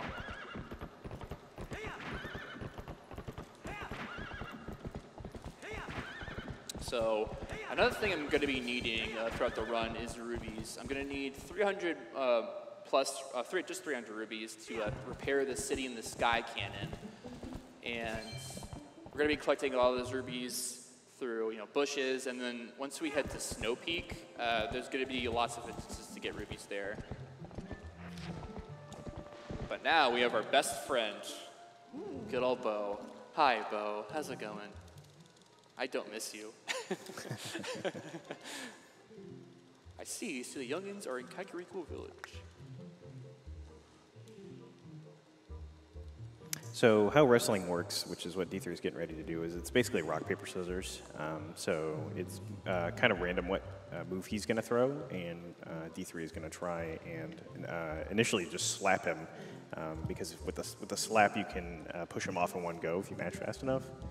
Um, however, Bo tends to tends to uh, sort of not be very nice. And, Tends to not be Yeah. nice. we'll we'll, we'll see. Maybe, maybe he'll be nice this All time. right. So what I'm going to do is I'm going to slap with B and I'm going to mash with A. Hopefully, let's see. Be nice, please. Okay, pretty good. Very Nice, good. Very, very good. So the first one's kind of the warm up. Now, now's the real deal. Yeah, now it's the real deal. So Bo loses the option to do nothing. So in the first phase, Bo has four options, but now he loses an option. So let's see if he goes right for me, please. All right, not, the worst. Okay. Okay. Uh huh. Uh huh. Yep. All right. Three, four, five, six, seven. Hey. Nice. Yes. There we go. All right. Not the worst. As long as he didn't push me. But I mean, he pushed me once, but other than that, that was actually pretty good. It, it, it can get a lot worse. Trust me. Could just. It's crazy. Bo is. Bo is Bo. But now we got our iron boots. We're going to be using our iron boots a lot throughout the run. And this game kind of defies physics. When you put on iron boots, you fall faster. It doesn't make any sense, but it works. It's, it's a thing that. Oh, that was cool. Okay, nice mailbox jump. That was pretty cool.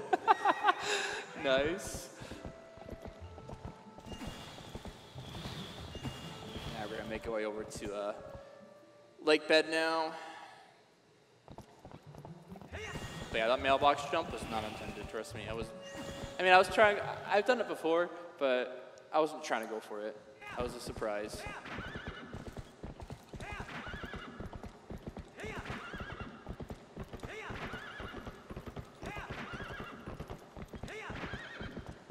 Very good. So what dash is, oh, I haven't explained it yet, but with dashes, you want to just space out your dashes well. You, you never really want to use all your dashes.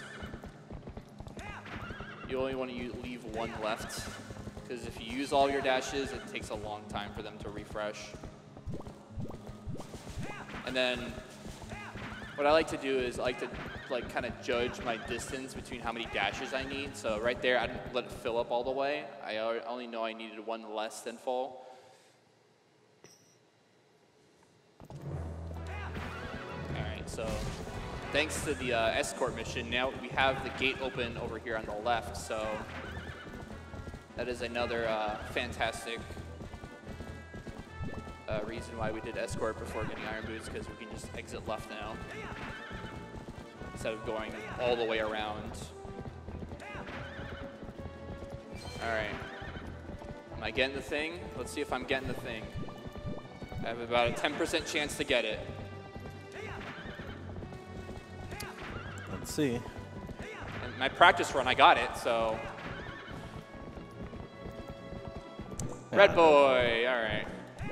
So right there, uh, those Chus fell, and there's three different types of Chus that can fall. It could be a red boy, a blue boy, and a gold boy. Uh, obviously, the, uh, the rare Chu uh, gives us uh, full HP and also doubles our damage for a short period of time. And there are, there are some strats that you can do with the rare Chu. Let's see if I get the slide. Nice, pretty good. That's good. Sometimes you'll jump on the, the stairs going down there. So I didn't that well.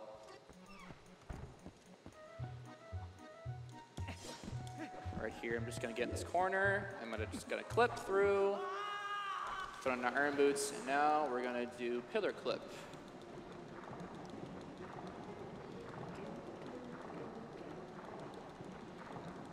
Just gonna make our way over, just gonna swim. So by swimming, you're just gonna mash A, mash your ZR, A or ZR. So like there's actually two different types of A button presses in this game. There's there's a ZR and there's A. So if you don't like mashing the A button, you just mash ZR instead.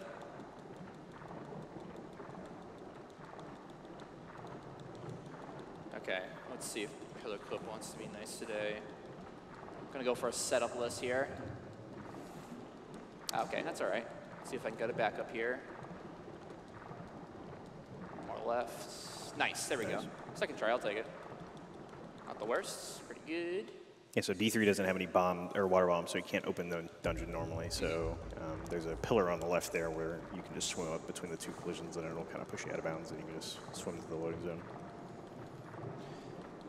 Yeah, so also speaking about bombs, uh, we don't get bombs in this route anymore. Uh, before the uh, before uh, the trick that is after um, the Master Sword, we would uh, we would get bombs, but now with this new route, or its current route, I mean, we don't get bombs at all. We just completely skip it because um, ball and chainers are substitutes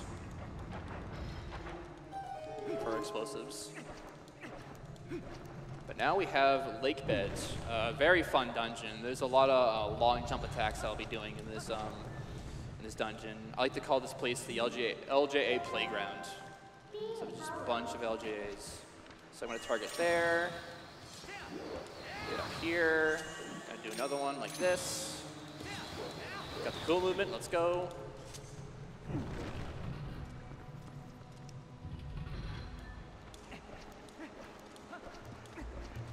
Just go around that guy. Just did nothing.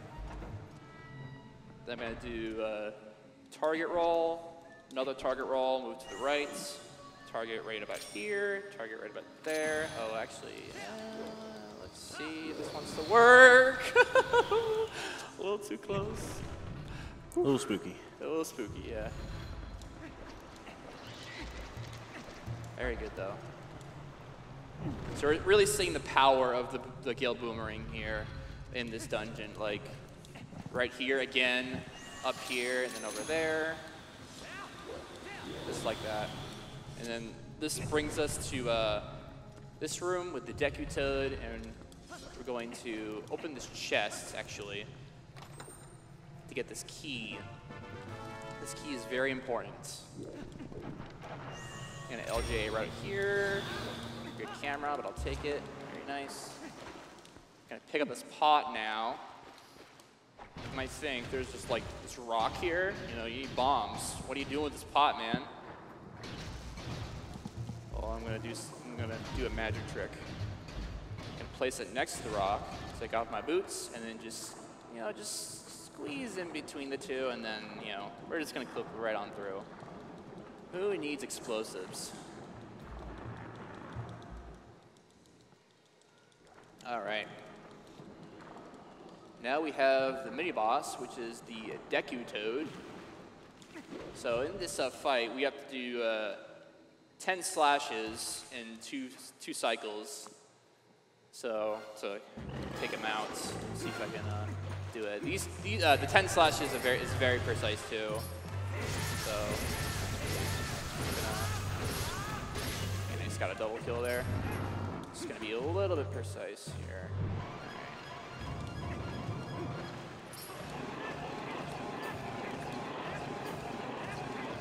Very good, that's 10. So we're gonna do that again, and that will finish off the fight.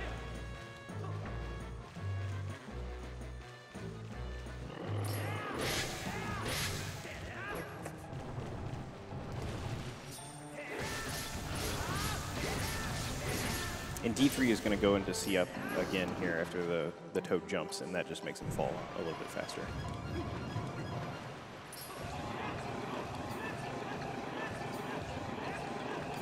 Very nice. Nice, good fight. two cycle. Very good. And right here, all I'm gonna do is hold ZL and A. That'll give me a jump attack, and that's gonna bring me right to the chests. Got our claw shots now. Our claw shot, not claw shots. That's that's until later. It's a little later in the run. Ah, didn't get the one frame drop, but it's okay. Now we're gonna make our way over to the, uh, the top of the room now, and there's a, an exclusive glitch in this version. Would you, uh, would either of you two like to explain? Uh, yeah, so in Twilight Princess HD, um, there's a specific gate actor that the game uses in two places. Uh, one of those places is in the Lakebed Temple, and the other place is in City in the Sky. Um, I don't exactly remember. Uh, I think it has something to do with like them joining, like the files that uh, reference the Something like that, yeah. Um, but basically, what's going to happen is if you load the gate in one area of the game, and then you try to go to uh, the area where the other gate should be, um, the other gate's just not going to be there for as long as you keep the game on. And it'll only come back if you like reset the game entirely, like go to the Wii U home menu and then open the game back up. So by going into this hallway here and into the room after this, D3 is going to load the gate that's in the Lakebed Temple here. And then he's, so he's loaded the gate now, so he just has to turn around and exit the room again.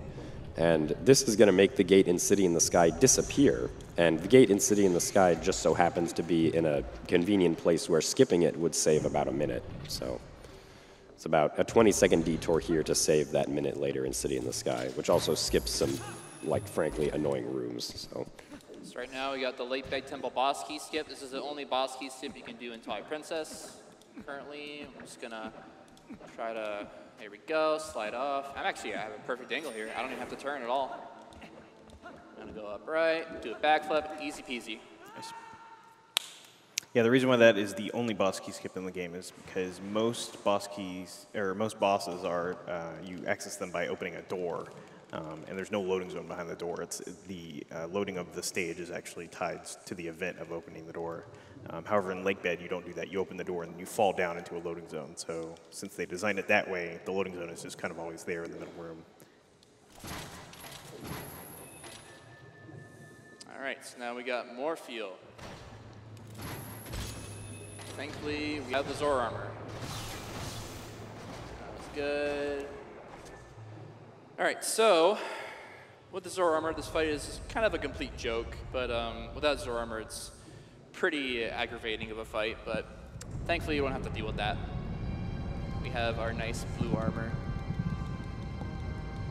And uh, when I latch onto Morpheel with the claw shots, I'm gonna equip my iron boots, and then what I'm gonna do is I'm gonna force unequip my iron boots by equipping over a different item over the iron boots where they're currently equipped. So I'm gonna swim up. Let's see what pattern I'm getting here. Is she going low or high? She is going low today. Thank you. Nice and easy. So put on the iron boots. I'm gonna do my four stabs. And then force unequipped. Nice, got the Nice. grab. That was actually really close.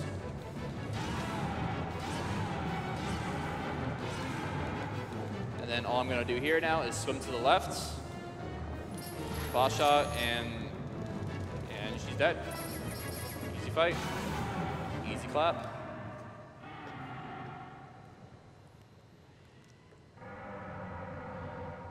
This cutscene's also interesting. Uh, this cutscene could last, you know, can be quick, can be long. It's sort of a dynamic cutscene.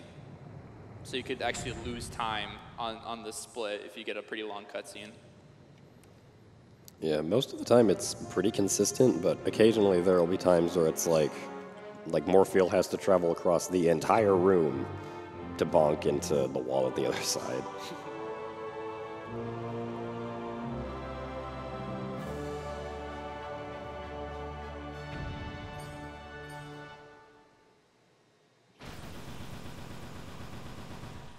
All right, gonna pick up the star container and then we're moving on. So we got the first Fused Shadow, but now we have the third Fused Shadow, so don't care about the second one. Second one doesn't matter.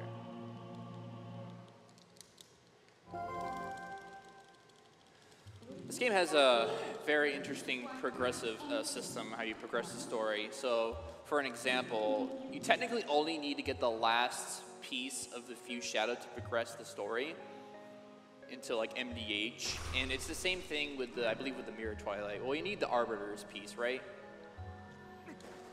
Or, Uh, well, you need to complete Arbiter's Okay, yeah, grounds. yeah. But um, after you complete Arbiters, you only really need a City in the Sky, and then you can go straight to Palace of Twilight. You don't even need to beat Temple of Time, Snow Peak, nothing. And coming up, we have the best music in the game. Midna's Lament. So we're gonna make our way over to uh, Zelda. We're gonna go through the sewers again. Got to climb a tower. We're gonna have to cross a bridge.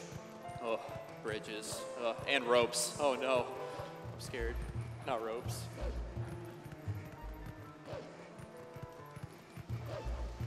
And then we're also gonna get to the part when I was talking about the crash. So let's hope I don't crash my game, or the game just doesn't crash.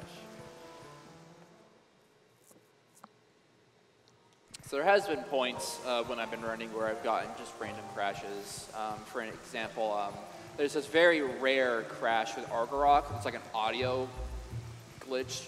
Like some of the music doesn't play, and the, once you latch on Argorok, the game just the console crashes, and it's the. I've gotten a crash with Ook. I've gotten a crash after Forest Temple. I've gotten a crash, you know, coming up in a little bit. So I've gotten a lot of crashes in my time.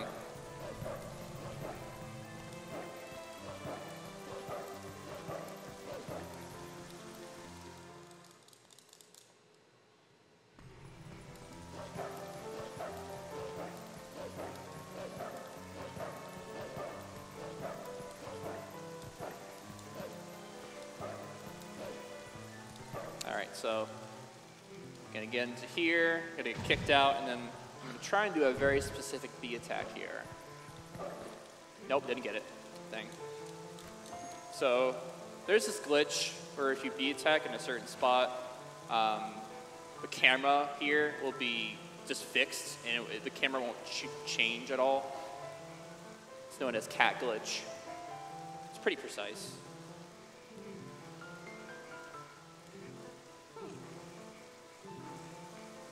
Yeah, and the camera not changing there. Um, speeds up this cutscene very slightly. Uh, it saves like one second.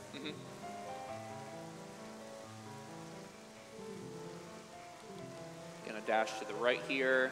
Gonna move this box once. Climb up. There we go. Side hop. Now we have ropes. Let's see how ropes go. Okay, just gonna be safe. Take my time. Good. Got past the pot. Come on now. Thank you. And you want to be sure you don't like accidentally knock down any pots Yeah. when going through there. All right. Don't do it, game. This is the spot my game crashed. it. Don't do it. Don't do it. Okay, we're good. We're good. Should be fine for the rest of the run.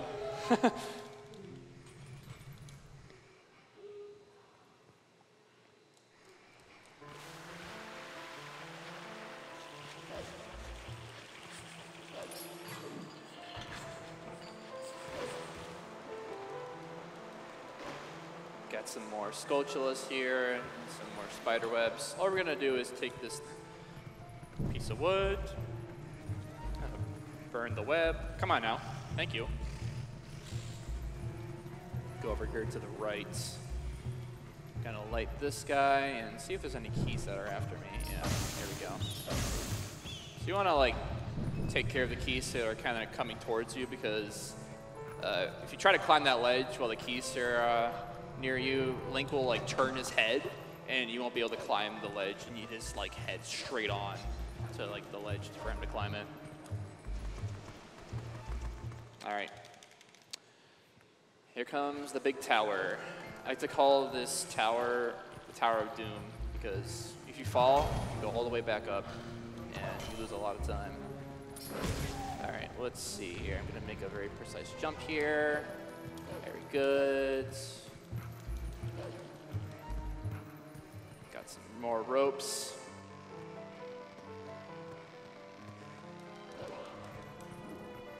Okay, nice. Taking it nice and easy.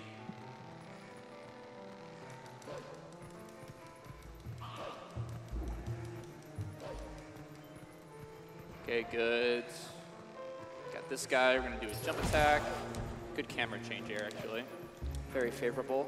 Then that's very nice. Okay. All right, and in this next section here, I have to make a bridge cycle. I'm gonna try my best to make it.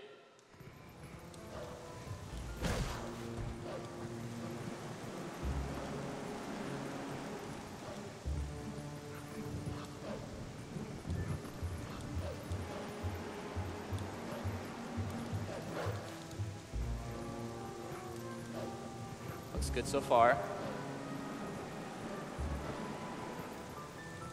Easy, let's Nice. go. Very nice. Yeah, that's tough to do. Mm-hmm. Gotta have really good movement. Yep.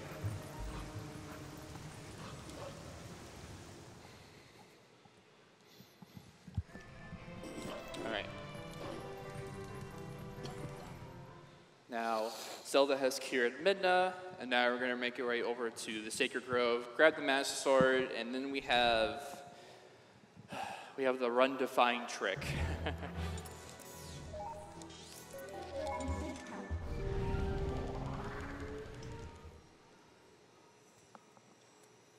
So basically, let's talk about it, okay? Let's just talk about it a little bit before we get to it.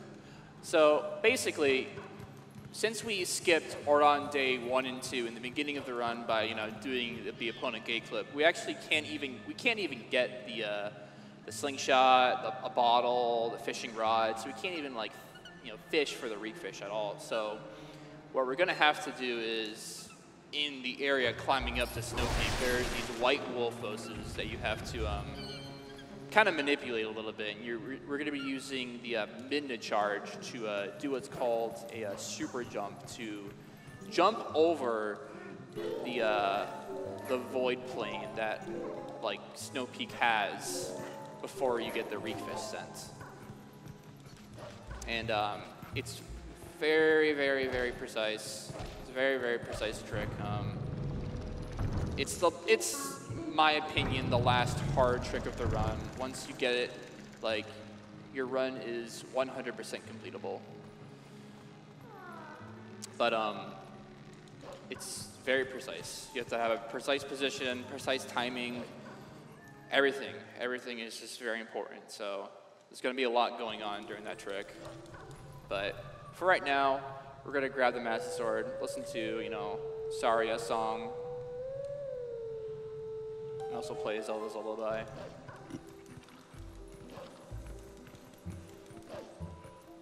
So the Skull Kid here, he's always in the same three spots. So go off to the left here. Just gonna be chilling. Then I already know where all the two other locations are, so we're all set.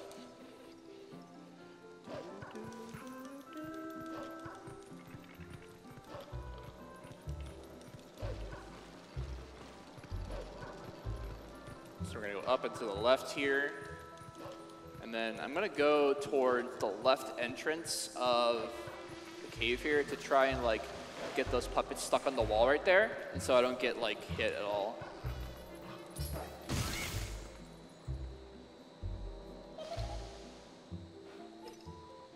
I'm gonna try to match um, Skull Kid's eyes to a controller input to see if I can get the ground. No, okay, I didn't get the ground. It's all right.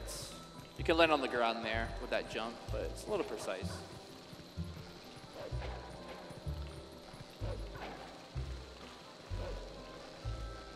Ow.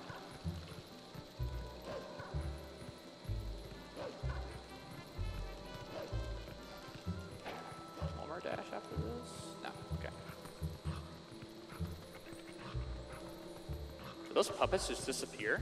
Okay, interesting. This game is crazy sometimes. Strange things be happening. Am I on the ledge? Okay, no, I'm on, I'm the ground. Good. You can tell if you're on the on top or on the ground here by the way a Skull Kid looks at you. So if Skull Kid looks up, you're still up there. She uh, looks like down. You're on the ground. And right here, not. I don't want to do that. There we go.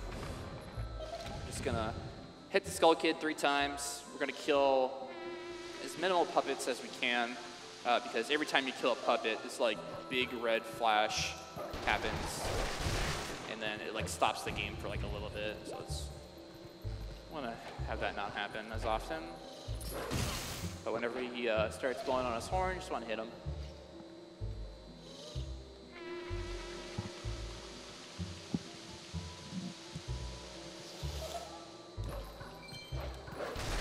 Good.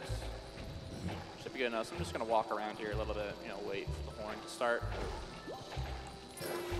There we go. Very nice.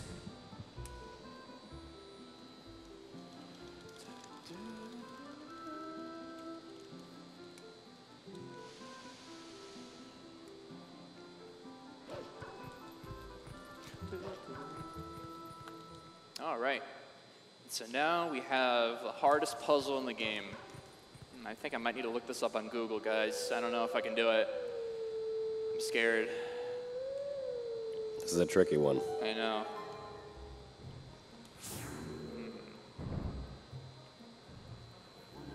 I'm liking the strategy so far. Yeah, I don't know. I'm just kind of winging it right now. Hmm.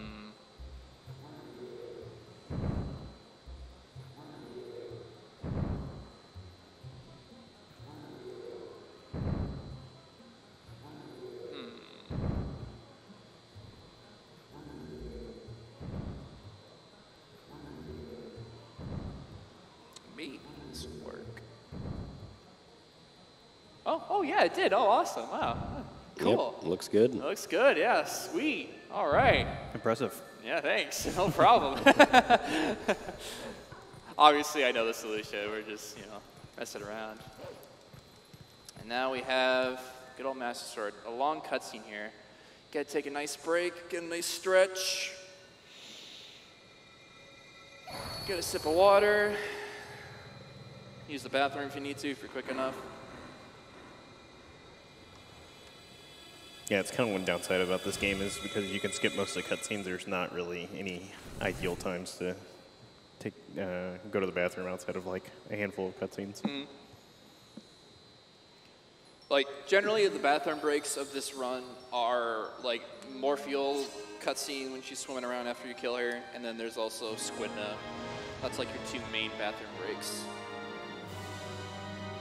This one would be a good candidate, but Midna has this one text box right here. Mm-hmm. Yeah, very unfortunate. yeah. You can make it if you're fast, through. but it's it's tough. Yeah, you you also have a wireless controller, so you could just you know bring the controller with you. You know. True. no, the, the Wii U controllers kind of tend to lose connection through a wall after like eight feet. yeah. So I made that mistake once. I tried to take the gamepad with me and it disconnected. no.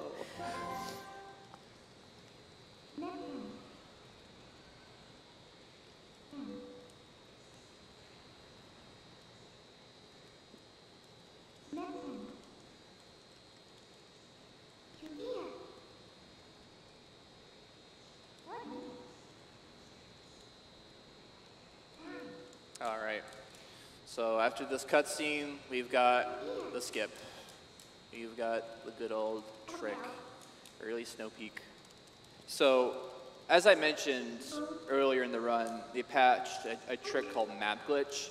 In the uh, Wii and GameCube versions, uh, you'd be able to do a glitch where you pull out the map and call Midna on like the same frame, and then you'd be able to warp somewhere, but you wouldn't warp, but you would like get rid of all the loading zones and everything. But um, since they patched it, we have to do other means, but we'll make it work. We'll make it work. It's no problem.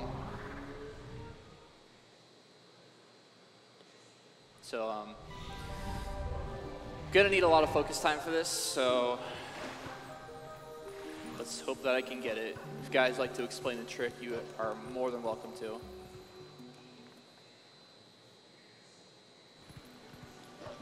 Yeah, so normally to get to Snow Peak, you need uh, you need first need to get the fishing rod and the coral earring to fish up the reek fish to get the reek fish scent as Wolf Link.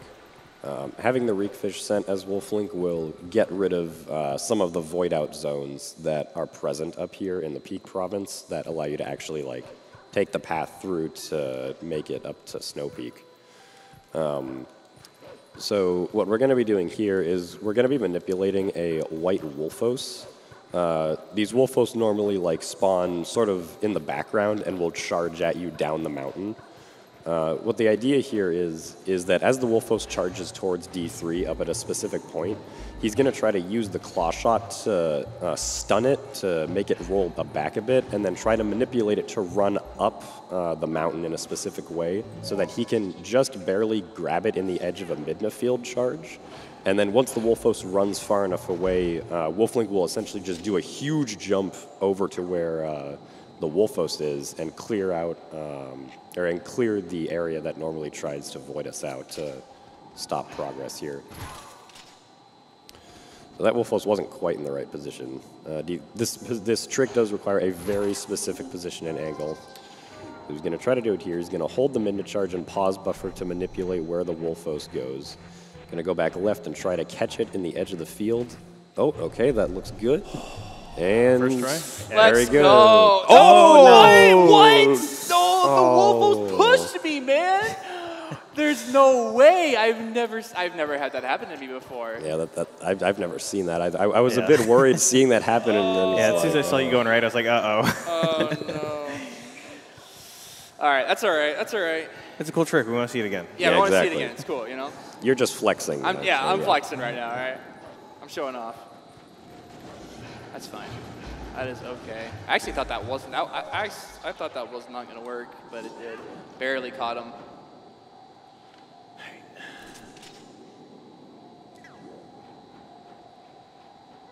Just gonna line up again. Right about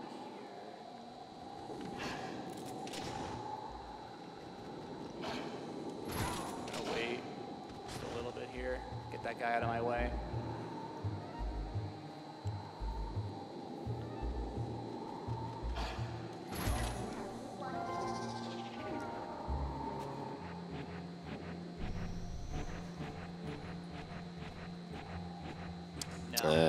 So that, that's what we were expecting to happen last time because the Wolfos looked too far away. Mm-hmm. Yeah, he was, he was, too far. Uh, it's okay though. So try it again. Oh, so you might notice that um, despite the fact that in HD we have the ability to quick transform using the gamepad, um, D3 is transforming with calling Midna because you can do input buffering out of calling Midna to transform, but you can't do input buffering out of quick transforming uh, for whatever reason. So the input buffer for uh, the Midna charge is uh, what's important here. Yeah, this guy looks good. See if he wants to be nice to me.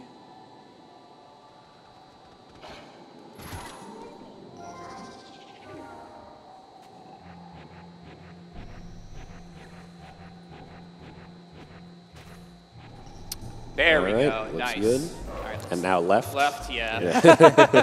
there we go. Good- All right, that's good a- deal. That's good. Good. Got past it. Nice. There we go. So that is that that is that is it. That is the big jump. That is the big leap. Yeah, yeah, and that's by far the hardest trick in the run. So nothing. There's not really a whole lot from here on out that will like you know has that has the potential to lose multiple minutes aside from like some random crash or something like that. Yeah. Oh man. Okay. That was okay. That was that was good. That was good. I mean, other than that, like that that first try failing, that was okay. I mean, at first try I got it, but the Wolfos was just like, nah, bro, you're going. I'm gonna lead you back into the the void plane. But it's all right. It's okay. We got past it. That's what matters. That's what's important. Now we can continue on.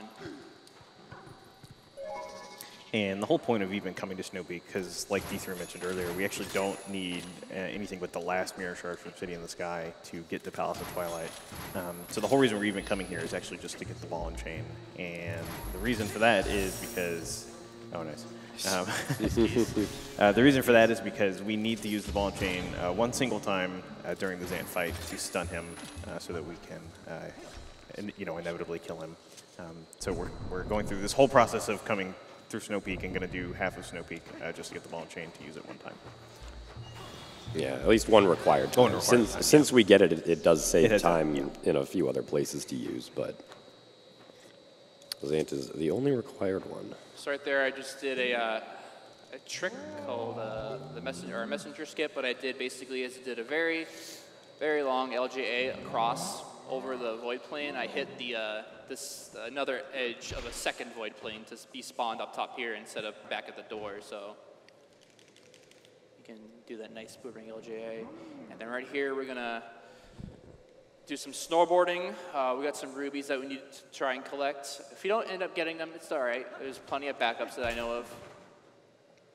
But uh, there's to be a 50 on top of a tree, and you really want to get that 50.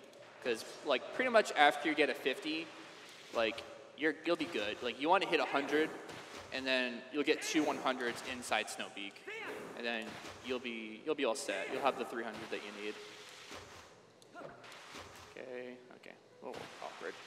Another thing that is, um, you might notice that I, you can't really, you can see, but like, it's a bit foggy. But um, that's because we skipped the messenger fight. If we, uh, if we ended up defeating the messengers or the shadow beasts, we, the fog would be completely gone. Looks like we gained the rubies too. Very nice, got Nice. the 50. And so now we already have 100 rubies. We can just grab the two 100s and be done. We're- The ruby route will be all set. Guaranteed uh, ruby route now.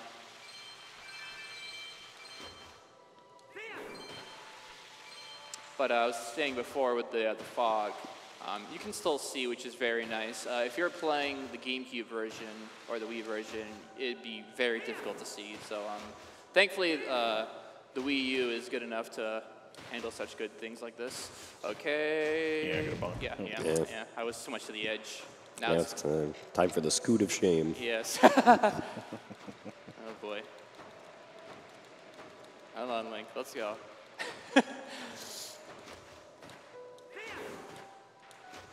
Slowly but surely. Yeah, There we we'll go. make it there. Nice. Got a tech skip. Grab a heart. There we go. So there's a very small Midna trigger there where Midna um, talks to you for a little bit, uh, but it, you can actually, it's so small you can actually just jump attack right over it. Alright, do we have time for a very quick donation? Uh, there's a little bit going on here I want to explain. This dungeon goes by really quickly, what we're going to be doing. So we're going to do an LJA over here. We're going to claw shot through the through the ceiling here. claw shot target right there. And then we're gonna make our way over to the bottom half of this room. I'm gonna line up on a specific visual cue, just like this. Should be good, perfect. And then we're gonna be clipping through this uh, ice block right here. We're gonna be turning to the left, line up like this, transform, and then we're just gonna just, you know, oh, okay, that's fine. Just redo it. Yeah, this clip is a little bit finicky. Basically, using the uh, the slight elevation of the floor to clip Wolflink into the ice. There we go. Nice. Just like that. And I side hopped. Nice. Okay. Let's see it again. yeah. Inch to the left. Dude, please. Okay. All right. Just make sure my angle's good. Okay. There we go. Should be good. No, backflip. Thank you. All right, so we clip through the block. Nice block there. And then we have another skip coming up here. Uh, originally, you'd have to use a cannonball to uh, kill this freezer in this room, but we're just gonna, we're gonna clip through it. We're gonna clip through him because walls, just a suggestion, really. Gonna go over here, get frozen, have iframes. There we go. Turn around, and there we go. Nice and easy. And a little a side effect of doing early Snow Peak is we have this flag called EBF, and there's usually a cutscene that comes with this guy, but since uh, we had those flags from Sacred Grove, uh, the cutscene just completely skips, and we, can- we don't have to watch that cutscene at all. All right, we have the time for the donation now. All right, we have another $500 from Matt Laurel Oh. Oh my god. Holy cow. Enormous, thank you. First is try Snow Peak. Let's go. Yes. Well, al- almost first try. Technically first try. All right, now we got the ball and chain. Our big item. And so I'm gonna go in this room here. It's gonna be these bubbles. It's gonna give us our 100 rubies. Here we go. Gonna put on my Zora armor here. Uh, this is actually quite like a little little bit risky because I'm my next the next era I'm going into has a lot of you know fire arrows, so I'm playing a little bit risky right now. I want to just have my Zora armor on all times. I don't really think I'll die. If I if I do have low HP uh, by that point, I will just swap tunics real quick. It doesn't really matter. Yeah, ideally you want to. We specifically want to put the uh, armor on again for the Morpheel Zant phase, and ideally we just put it on during a save warp to skip like one little menu section. All right, so now we're going straight to Lake Hylia. We're going to talk to our good friend Auru. We're going to grab the memo, and we're going to use our friend Fyer once again, the homie.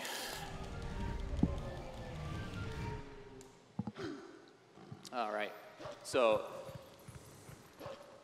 if I haven't mentioned this before, the climbing speed, I think I did back in Forest Temple, um, this is where you really get to see the, the climbing speed, the difference. So in GameCube and Wii, that ladder over there, a big tower, there's a big ladder, and it would take so long, but you'll see how fast Link climbs up this ladder. It's kind of ridiculous.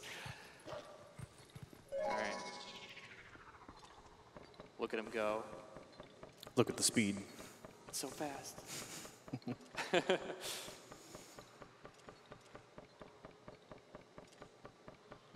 Done already. What's up, my good friend Auru? Yeah, if I haven't mentioned this as well already, uh, text boxes are very quick in Twilight Princess. Every version has very quick text boxes. All you really do is mash A and B, and text boxes like fly. And we're gonna swim here. Uh, you, you could also just, you know, dash your way over here as Wolf Link, but I, I like to swim. And also a little bit of water level stuff here. Looks, up, looks like I'm on a good water cycle here. Very nice. Uh, come on now. Thank you. Gotta quit my memo. Sure, I wanna go. Thank you, bud. All right, heading into Gerudo Desert. Gonna just transform into Wolf Link there. Right there, I paused the game briefly to get rid of the title card so I can transform quicker. Uh, you can't you can't really do any actions. You can do actions, but you can't like equip items and such. You can't transform. So a quick pause will let you able to um, do your next action that you would like to do.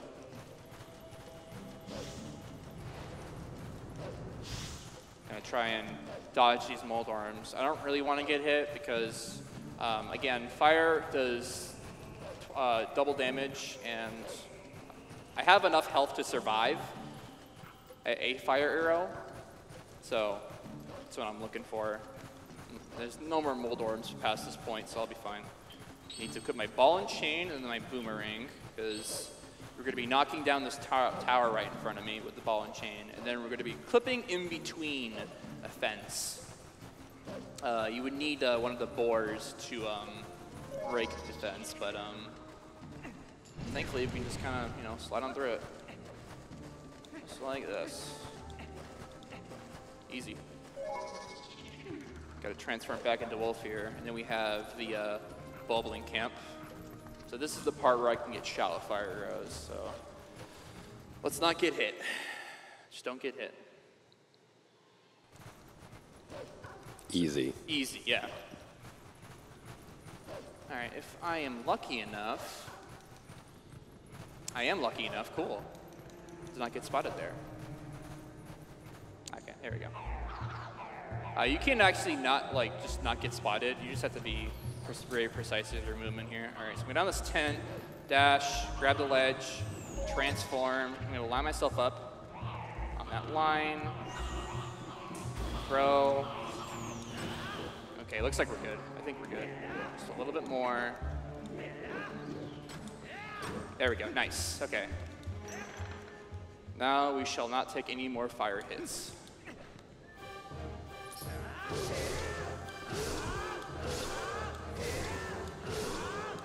Sorry to focus there. I'm doing uh, doing clockwise spin attacks. Clockwise spin attacks are, are um, faster than counter. So um, you can do a total of, I think that was five in like one combo. And uh, clockwise spins are just a slightly faster, but you know, whatever you prefer, really. All right, get out of here, budget trick. You're in the wrong movie. Come on, man. KB, he he doesn't have enough layers. yeah, KB, please.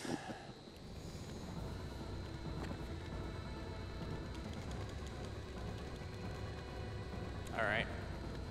Now that that little section is done, you've got, oh boy, one of the most infamous dungeons in this game, in the speedrun, I would say. My favorite dungeon, casually, Arbiter's Grounds, is great, but speedrun, it's, it's, it's a struggle sometimes. There's uh, lots of RNG in this dungeon, lots of enemies that can get in your way, lots of tricks that can just be very, can, can just, it's a struggle. It's, a struggle. But I'm gonna try my best to have a clean AG. So I'm entering as Wolflink here. I'm just gonna be, be attacking across the sands.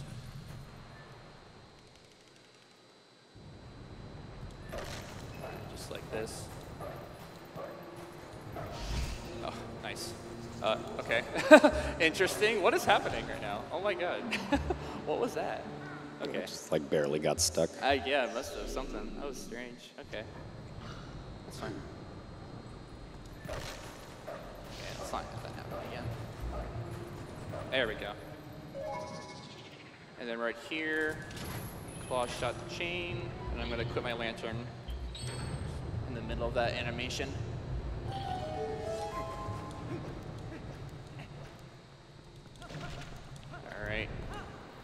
An auto roll there, pick up the chest, it's gonna be our key. Got another room with a lantern, and then we have an unskippable cutscene, and then we have oh one skip.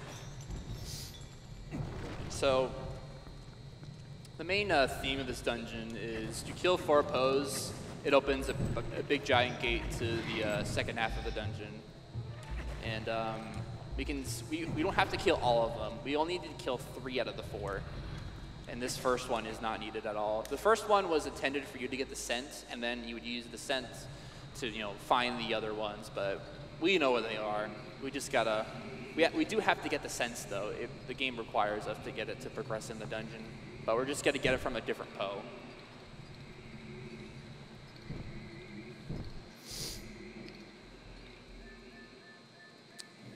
Or, you know, I could just Ruby slide, you know.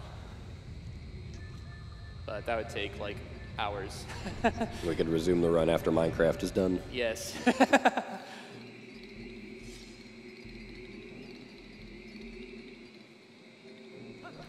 All right, I'm trying to cut my ball and chain here. Good. All right, so here comes Poe one skip. Let's see if I can get it. This is very precise trick.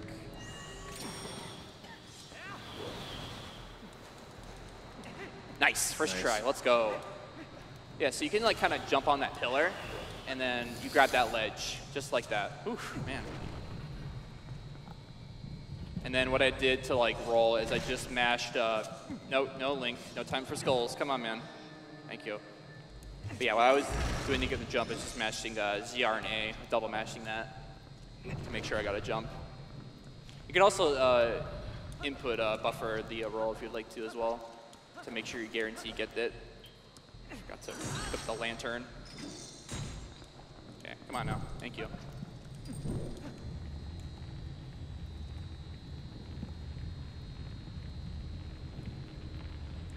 Gonna do a roll here by just buffering it. And then we have Poe 4.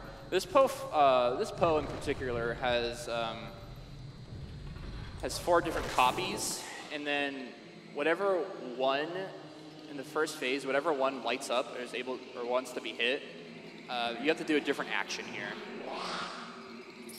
So let's see what I get here. I'm to turn the camera in a specific way so I know what to do for the action.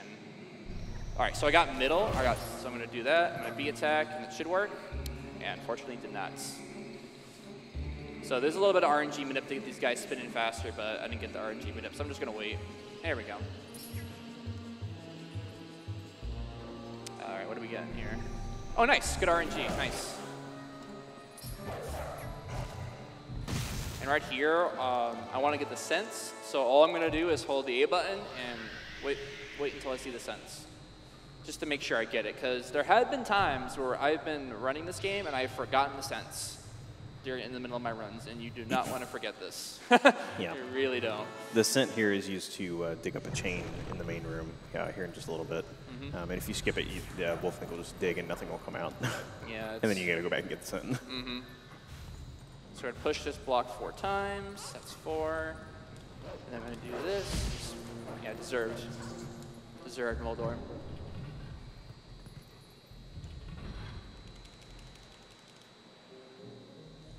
And uh, this is gonna be the digging spot that requires us the sense. It's over here, this one right here. Nice. And then I'm gonna pull the chain, aim towards the stairs and try to get on the first one here. Very good. And then got ourselves a uh, Redead or Gibdo. Gonna cook the ball and chain here.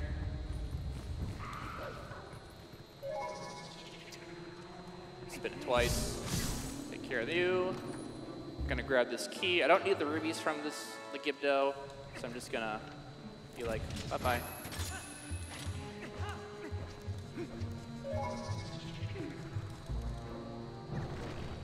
We got Poe 3 here. Gonna be doing a jump attack here in the beginning. So when you do a jump attack, oh, it's Poe 2 actually, my bad. When you do a jump attack uh, in the beginning of their, uh, their fight, they do like a scream. And if you do the jump attack, it like cancels the scream, and saves a little bit of time. I'll do it for uh, Poe 3 as well. And that was Poe 2.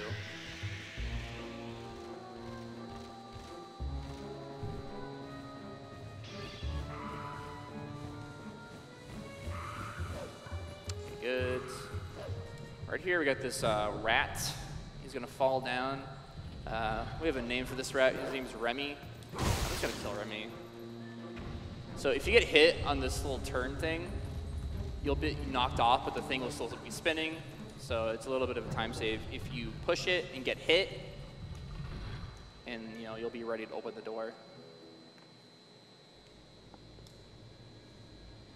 And we're gonna make our way up to uh, Poe 3 now. Poe 3 room can be a little bit crazy. There's a lot going on. Uh, there are two Gibdos, there's a bunch of cell chil- children, or childs, whatever they call them, and it could be a little hectic. But um, I'm going to try and do a strat where I can potentially one-shot uh, the, uh, the Gibdo. Just going to do a B attack there to line up my dashes really well there.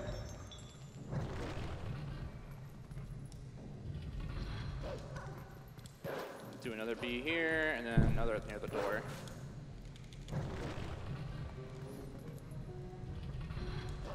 All right, so I'm going to try and start target a lot of these guys.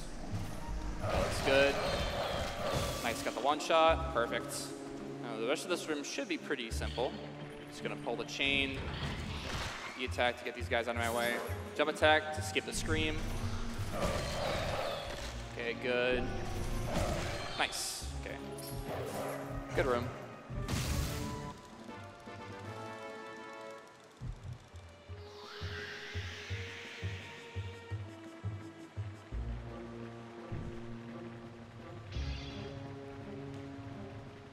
All right, that is first half of AG completed. We're going to head back to the center room. The gate's going to open up, and then we're going to move on to the second half, where we have a, uh, another difficult trick coming up called uh, Death Sword Skip. Um, so the mini boss, theme's Death Sword, you can skip them. Um, it is very, very difficult of a strat.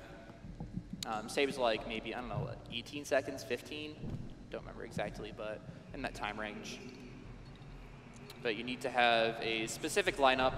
You need to do a super jump. It's going to be similar to what I did with early Snow Peak. So it'll be that same type of uh, super jump. But then obviously the lineup will be different and everything. We're head to the left here.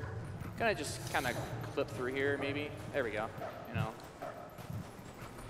Sometimes, again, walls are just a suggestion sometimes.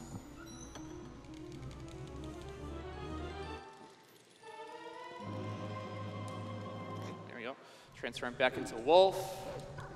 Getting moving through this room. Attack down. Jump B. Let's get do some movement through this room. Do side up here. Oh, no, I wanted to get on top there. It's alright though. Could have probably just made it with a normal jump, but I wanted to not wait for animations.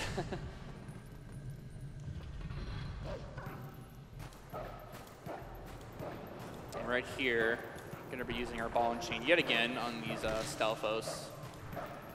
So the only other way to kill these guys are with bombs, so good thing we had the ball and chain.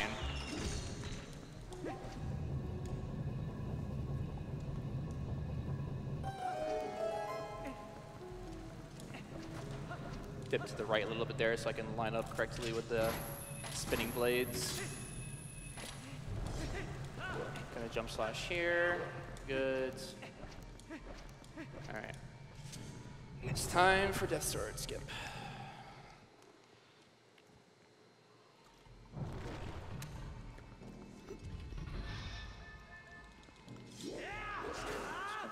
Release him. Going to bring him into his physical form. And then we're going to attempt the trick.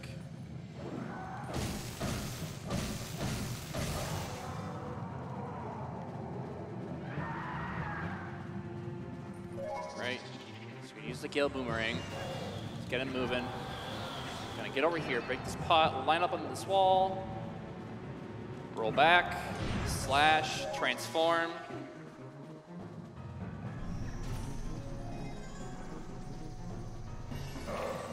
Let's go! Nice. Yes, yes, there we go. So very specific lineup there. Like on the outer edge of that circle, those two lines, I put two paws on there, perfect lineup. Then you just have to wait a couple seconds. I'm so happy I got that. Let's go. Nice. Yeah, that's definitely the the hardest trick in this dungeon. Mhm. Mhm.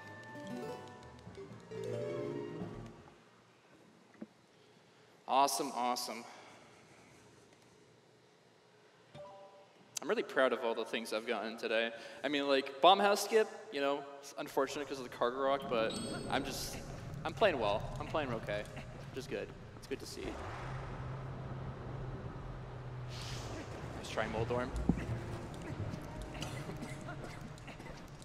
A little like interesting thing when you get off the spinner is it auto like buffers a roll for you because you press A to cancel, and also while you're when you're jumping through midair, you want to press A to get you know an auto roll when you land. So a little interesting thing with the spinner.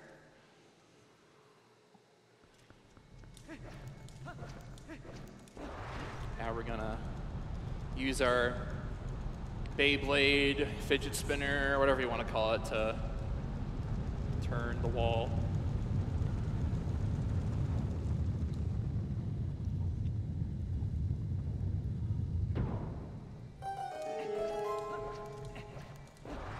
And the little cool thing I can do here, if I pull the camera out, I just bring it out of bounds.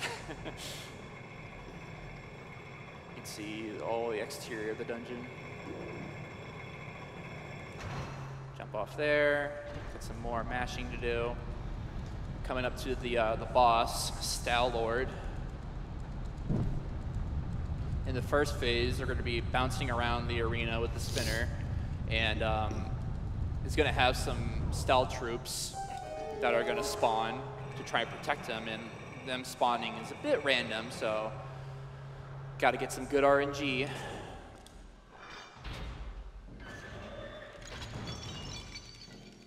And then in the second phase, we have a quick way to take care of them. Uh, but if you're also playing the, uh, the GameCube version, uh, you can actually skip this fight, which is absolutely insane, by using one of the Stal troops to do like a really cool bomb boost. But we have to fight them. Because there is, um, the trick that we use in the GameCube version to skip them is called L sliding, and that is uh, patched out of the HD version as well. All right, so let's see what the RNG is today. Uh, nice opening. Okay, good. He lifted his arm. Thank you. Okay, this third, the third phase here, third hit could be a little, could be a little weird. Uh, no major opening. Okay, I'm just bouncing all over the place. All right, it's fine. Okay, uh, I want to go for this guy over here. Okay, not bad. One extra spin. It's okay. Definitely seen worse. Yep. Yeah. Yeah, Same here. I know it too well. I guess taking out that big pack that I did was uh, made it made me uh, made me have a good opening.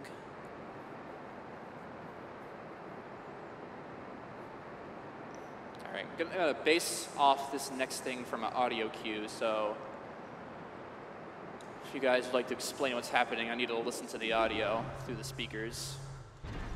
Yeah, so what he, uh, D3 is going to do is uh, wait. He's going to roll and get into a specific position, and then uh, what he's uh, looking for is to wait for uh, Stalord to attack with the fireball, and then get on the spinner on the track at the around the same time he fires. And this results in uh, Stalord not being able to get around the uh, pillar fast enough. Uh, so D3 actually catches up to him on the spinner on the track and hits him early, uh, skipping the whole section of having to ride all the way up the pillar and then uh, uh, take him out that way.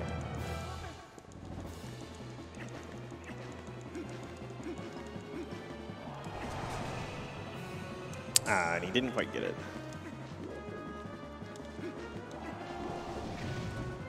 Let's try to go for the brake slide back up here. All right, unfortunate. Um, I try to go for the backup. Uh, this is a backup if you do a brake slide. Um, you can knock him down, but brake slides weren't happening today. But it's okay. A little unfortunate, but it's okay. I must have mistimed my spinner. Yeah, the time save here is not uh, super huge. It's only around like 20, 30 seconds. Uh, so not really a big deal. And uh, thankfully, we can uh, one cycle Stalord by just doing a bunch of quick spins here. Uh, hello, thank you.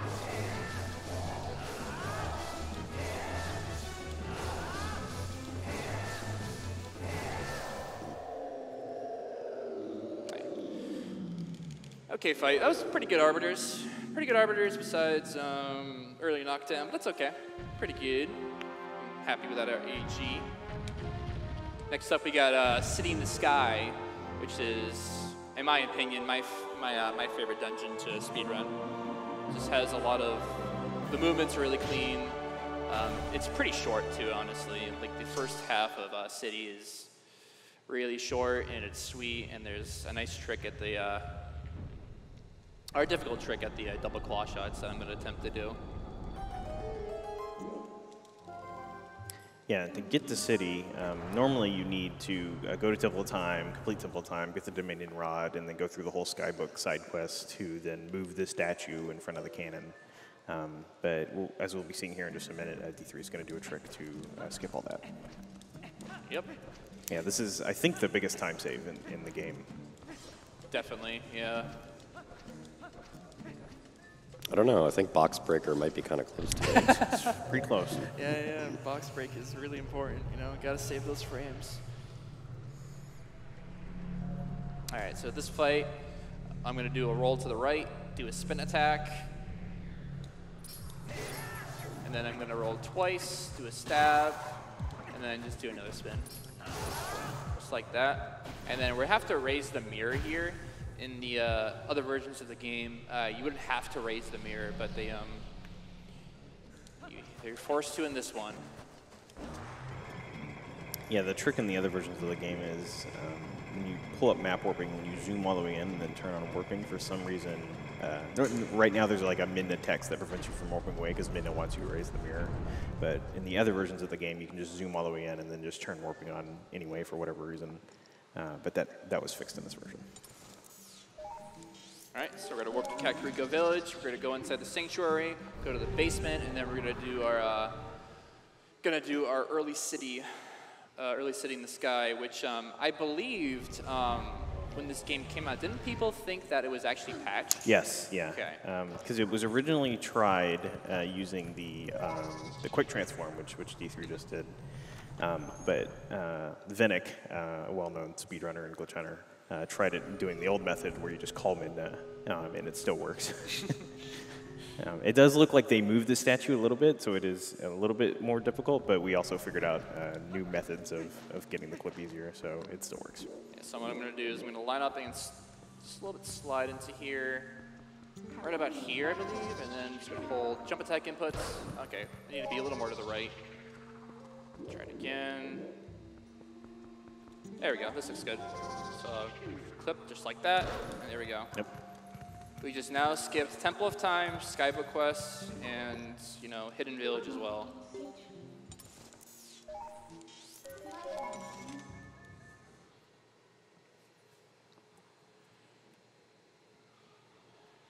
All right, so we're bringing the cam, uh, the cannon down, and this is our last, last use of our good friend Fyer. He has been such a blessing to us, and he's going to help us this final time to get us to City in the Sky.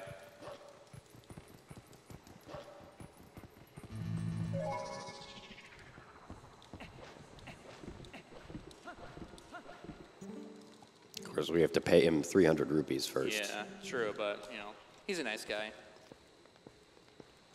Hey, buddy. Sure. And now, let the time lapse begin.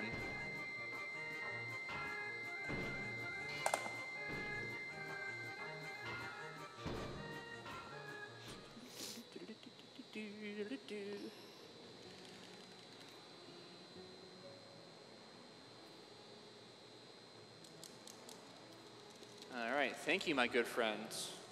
You have a very nice bonsai bill on your shirt.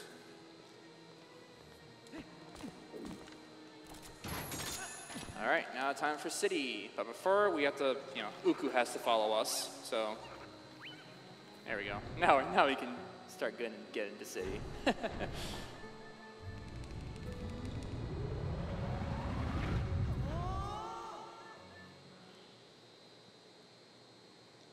All right. So, in the sky, there's going to be a uh, trick in the uh, first room of the dungeon. We're going to be uh, skipping a trigger, uh, a fan trigger, in particularly to um, have us ha- have access to the boss key way earlier than intended. And all we're gonna do is stand far away from the door and open it. and also, this is another area where LJAs are very prominent, uh, the boomerang LJAs. You'll see a lot of them in this first room even as well. Yeah, and the trigger D3 is going to uh, skip here. Um, is actually there's actually quite a few of them in TP where um, a lot of rooms, uh, such as the middle room in here, will actually be by default in its completed state, and then uh, Nintendo designed it such a way that right before you enter the room, whenever you like walk in front of the door, it the trigger will then uh, set it back to what it should be, um, you know, at the beginning of the dungeon. Um, so normally the fan is supposed to be on, um, but by default it's off, and then if you can skip this trigger, which D3 is about to do, um, it will just stay off. Yeah, so all I'm gonna do is transform right here, and then we're good. Yep. Oh, just gonna use myself just a little bit forward. There we go. And the reason this works is because the uh, trigger itself is very, very small and right in front of the door. And normally, as human Link, whenever you do that, you can't avoid touching it without opening the door. However, when you're Wolf Link, the uh, the check for uh, Wolf Link's position is actually his back legs, and so you can actually get close enough uh, with Wolf Link's like nose to, uh, to the door to get the open prompt without actually touching the trigger. And then once you actually initiate the open, the trigger unloads, and then you can just walk right through it. So right here, before the bridge completes, I'm gonna try and do a roll, just to get a little more distance. And then I'm gonna do an LJA, across this gap. Gotta fight the wind here just a little bit. And then after we get this key, uh, there's gonna be a cutscene at the end of the bridge where Argorok's gonna try and destroy it, but we're gonna we're gonna skip it. We're gonna jump around it. There's some uh, some cool parkour, hopefully. It's, it's gonna depend if what kind of wind cycle I'm on though. So the wind is blowing currently, and there's like two types of cycles you can get coming out of this room. So let's see what I get. If it starts blowing right away, it means I'm on a pretty good cycle. I'm on a very, very lenient cycle. I have a lot of time to work with before the wind starts blowing and blows me off the ledge. But if it waits, if the wind doesn't blow here, it means I don't have a lot of time. So let's see what kind of cycle I'm on. I'm on a okay. I'm on a slow. I'm on a bad cycle here, so I'm gonna attempt to. I'm gonna attempt to just go really fast here. Got it. Nice. So I jumped onto the railing and I, you know, jumped to the right. And I was able to completely dodge the cutscene trigger there.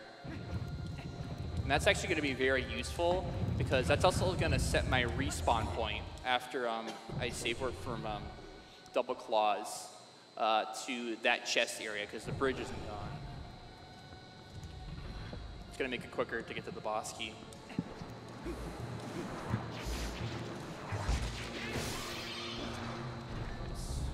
Take care of that Baba. And I need to equip my iron boots, and then that's the rest of the equips I need for the rest of the, uh, the dungeon itself. In a room coming up here, we'll see uh, the gate uh, glitch that Jim was talking about earlier, um, where D3 went into Lakebed and loaded a gate uh, in order to unload the gate here. Um, so yeah, we'll see. We'll see that here in a minute. Whenever he goes into that room, that gate will just not be there um, when when it should actually be there. Yep. All I'm gonna do here is just gonna fight the wind here. Plenty of time, plenty of space to do that. And so usually there'd be a gate here, but there isn't. It's just gone. Goodbye, gate. Goodbye. Just gotta drop all the way down with an LJA. Now it is time for Aeralfos skip. So in, in this fight, there's a claw shot target that leads you to the double claw shots. And there's about a pixel or so where you are able to claw shot it and just completely skip the fight. So I'm going to attempt to do it. It's very precise. So let's see if I can get it. All right, so I'm going to roll back, take out boots, and then roll forward forward. This looks okay, all right. A little more up, a little more down. I need to a little more down. Okay, it's fine. Just gonna restart the, the sequence again, just to make it easier on me. My position or my angle wasn't that too good, so I'm gonna see if I can get a better angle here. That's a lot better.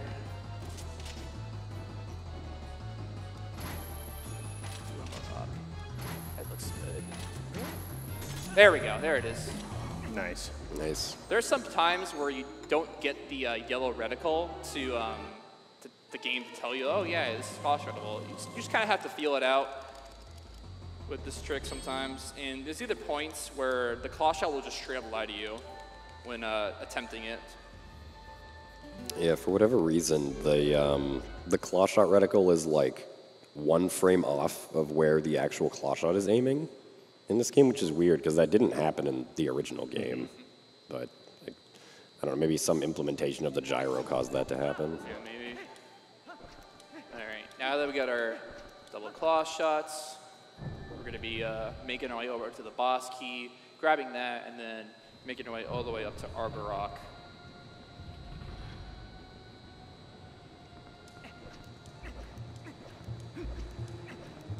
Gonna zoom out my camera here, just make sure I don't void out here. And another thing I did not mention is grabbing vines or ledges. Uh, Link can either grab with one hand or two hands.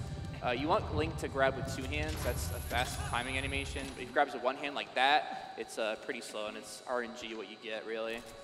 So let's see what this one's going to be. Two-handed? Yeah, there we go. Nice.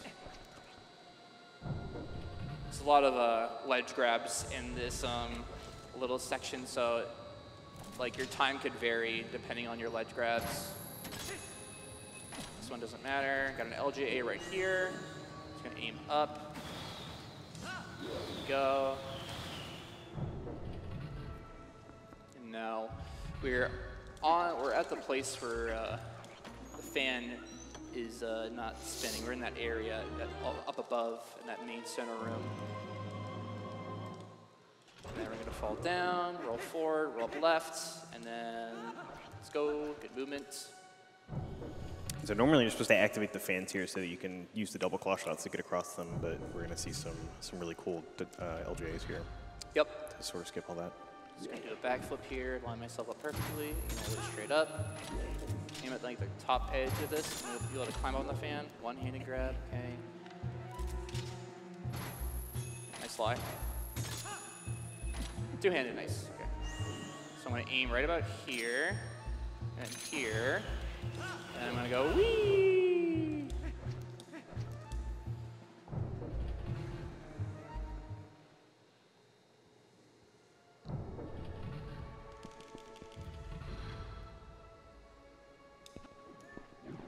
We got this big fan tower room. Uh, one notable thing, actually, that you might not realize, they actually slowed down the fan's turning speed here. So in the GameCube version and Wii versions, these fans would be spinning quick, but uh, they slowed them down here, so it's easier to like climb the room fast. Yeah, it's just gotta wait a little bit here. Just gotta go over to claw shot on this side of the fan.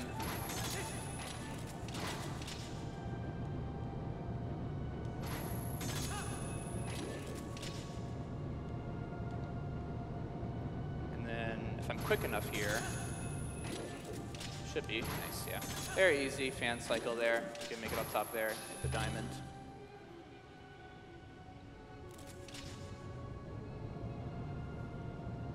Like anytime I would like do a run of Twilight Princess on the GameCube and like do this fan tower, I'd always miss the cycle because the fans are spinning too fast. but it's it's very easy to hit the cycle in the HD version, which is nice. And then right here we have a cool little trick called Rob Shot. Let's see if I can get it. Kind of roll this way, get on the edge, and then all the way up and slightly to the. oh, Where are you? There you are. That looks really good. Nice. Nice. That was a really good Rob shot. Now we have the big Dargan himself, our Wyvern, our Argorok. So I'm just gonna hang around this side of the arena here. I'm gonna just kind of manipulate him to come down. Then I'm gonna get a little close here. I'm gonna not shoot, I'm not gonna claw shot onto his tail frame perfectly. If you claw shot it like really quickly, frame perfectly, you get a very funny um, get a trick called Cool Game. Yeah, this is a something I unfortunately uh, found uh, where if you do that, you get stuck on in a soft lock, uh, kind of hanging on his tail, and you can't really do anything other than just reset the game.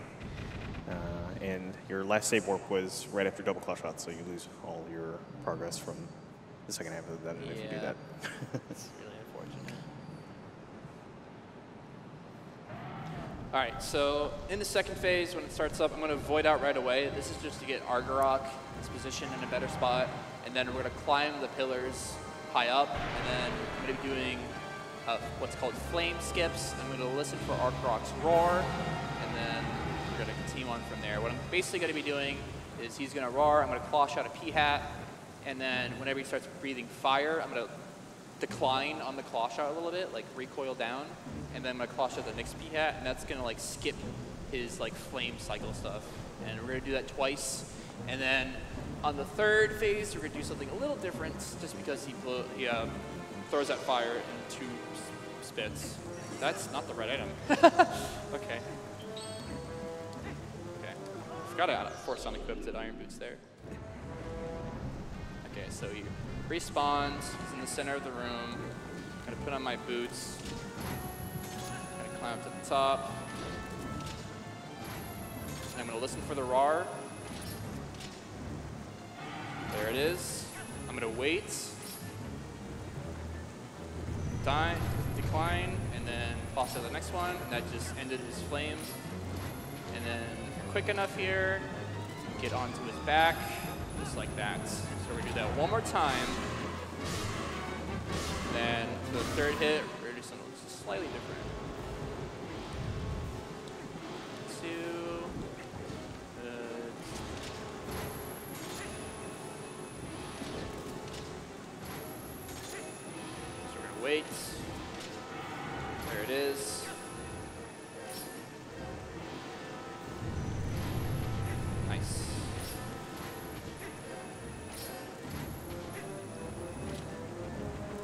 Time here. Now for the third phase. As soon as Argorok starts to roar, I'm going to claw shot four Peahats, and then we're going to. Uh, oh, come on now. There we go. We're going to equip our iron boots uh, to sink a little bit, and then we're going to skip his uh, second flame. So that's one, two, trois. Got, I counted in French there if you got that. Gonna sink. Then when he starts breathing fire, unequipped, and then dead. He is now finished. Pretty simple fight. Sort of like an auto-scroller type thing, so, but nice and simple. We got a nice long cutscene here.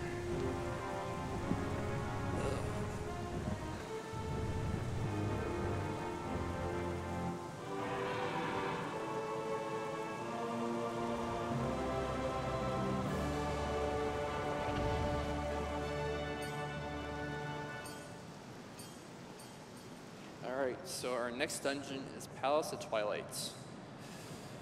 Second to last dungeon. And then we have the last dungeon, which is Hyrule.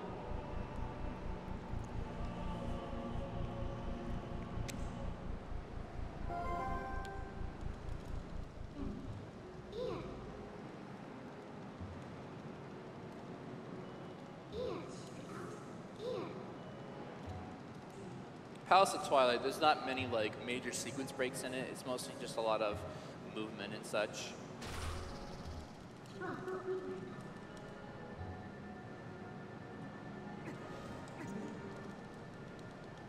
Don't need the heart container, I'll be fine.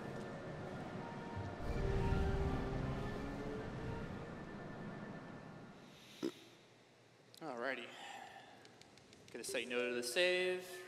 And very important here, we want to have uh, iron boots when we're have, have iron boots on when we claw out the cannon here. A little bit more, the right, there we go. Okay, and then we're gonna mash B here to get a jump slash We want to get the jump slash as soon as possible. So we land on the bridge, and so we can immediately warp to Palace or the Mirror Chamber.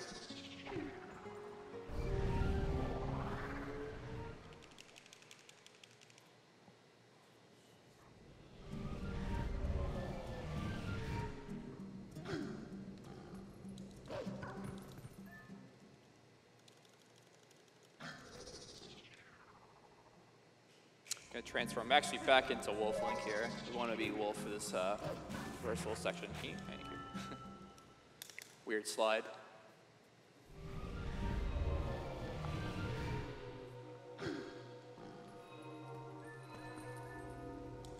And Palace of Twilight has really almost no no skips in it. Um, almost the entire dungeon is, is done uh, how you would do it casually, uh, outside of just some, some shortcuts with LJs and a couple of rooms. Um, so we're gonna get to see you know almost the entire dungeon here. Yep. So in every one of the single these rooms, you're going to to fight uh, some Zant heads. And the way we're going to take care of them is by doing, we're going to dash, we're going to B, do like a B lunge, it's going to double hit, and then we're going to use a Midna charge to uh, finish off the Zant head. So we dash, B lunge, and then we're going to charge, dead. Just like that. Do that for most of the Zant heads until we get the light sword.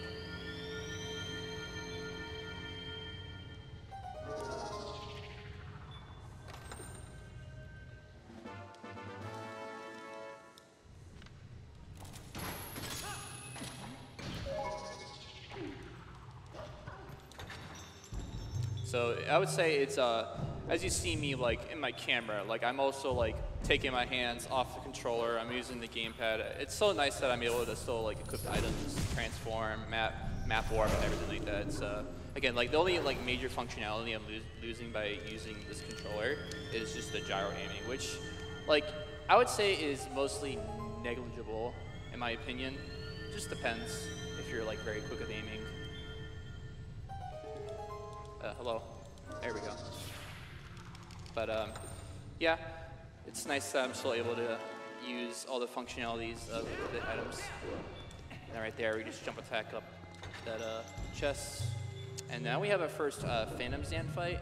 I'm going to be using a slight audio cues here, hopefully with these uh, speakers, uh, to try to tell where he's like, like teleporting. And then generally what I'm going to be doing is a slash and uh, two spins. And then on the third phase, uh, third hit, I'm going to do three spins instead of two. That'll finish him off. Right, so I'm trying to listen here. All right, run in front of me, nice.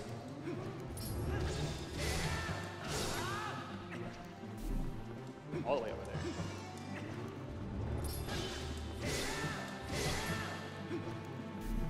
Oh, nice. Decent Nice. luck. Yeah, nice RNG on that last hit. That was good. Didn't give me like weird spots. Gonna have to go through one more fight with uh with uh Phantom Zants. Nice lie. Right there, I, uh, I threw the orb into the socket so the cutscene is overlapping, and then so by the time this cutscene ends, the bridge is ready.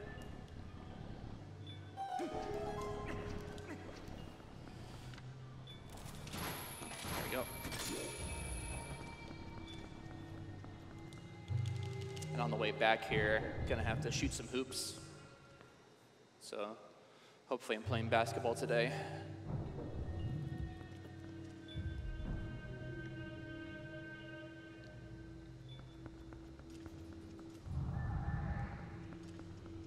Okay, hug this corner, throw, roll back. Very nice.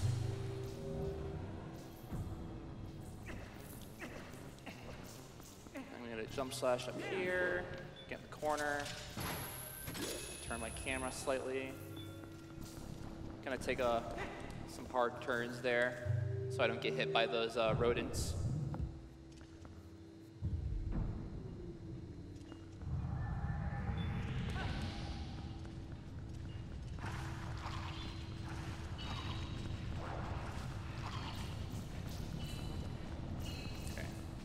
That's the uh, first soul brought him back to the center room. We have one more soul to go, and this uh, this next wing over here on the right is going to be very interesting.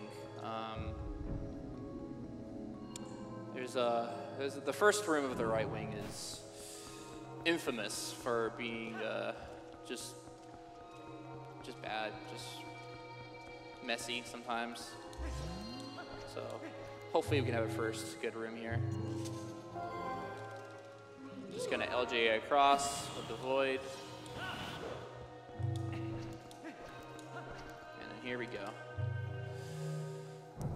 So there's going to be platforming. These platforms they're going to move left and right, and there's also going to be a Zant head that I'm going to have to take care of.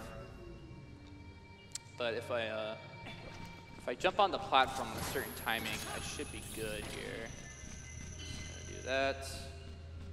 I'm just going to wait a little bit, jump, and then the platforms are lined up. So this is really good. Very nice. Avoid all troubles with that room. Plenty of times I've fallen down and lost like 20 or 30 seconds just from falling down in this one room because if you fall, you have to like get on that first moving platform and then you have to get back onto the moving platforms. In this room here, I'm gonna pull up my, uh, my Gale Boomerang and throw at those guys so they're running towards me again so I can get an easier kill on these three. Big hawk.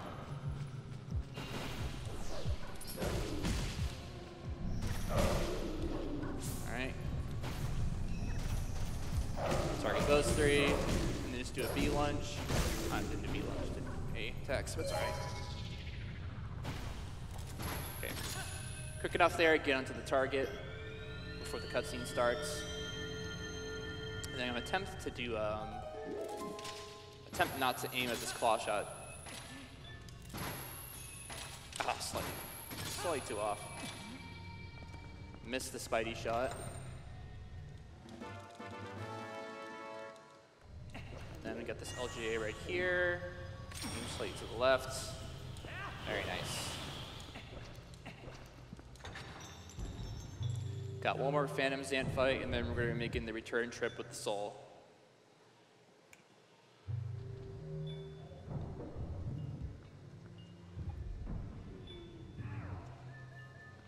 All right, got another Phantom Zant fight. Listen to audio. Right? Yeah, okay. Oh, he's over here. No, he isn't. Oh, he's over there. Okay. I think the orb still flew. Yeah, it did. Where are you? On the other side of the room. There he is. Okay, not bad. When I'm at home, like doing runs, I can like clearly hear when he spawns in in any location. I just gotta react to what your uh, air muff that I hear.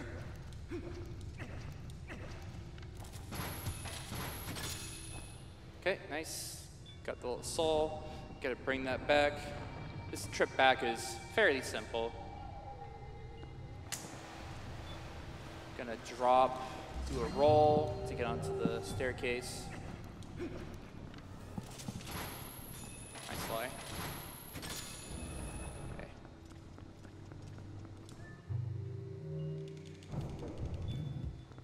All right. Just gonna throw the orb forward here whenever I drop down onto the engraved platforms. Like if you look at the floor, uh, there's like squares on them, like right here. And if you just throw, you'll be on the platform ready to go. Makes this room a lot more simpler. Sometimes the Shadow Beast, that Shadow Messenger right there, can actually knock the orb out of the, the socket there. This room back is pretty simple as well. Gonna jump on this, and we're gonna wait, and then we can make the make the rest of the way back. This one go. Nice. Good on H- I'm good on HP as well because um, in this next section here, I'm to be taking uh, quite a bit of intentional damage, uh, making my way up to Zant. This going to be lots of times where I'm voiding out or I'm going to be taking fall damage. So having a lot of health for this uh, upcoming part is very useful.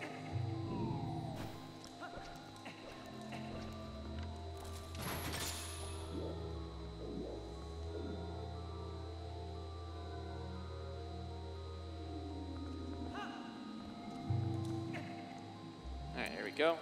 Very nice. Got our, uh, let's see here. Got our butter knife. We have the glow stick. Uh, you know, lightsaber. a Bunch of different names for this uh, for the light sword.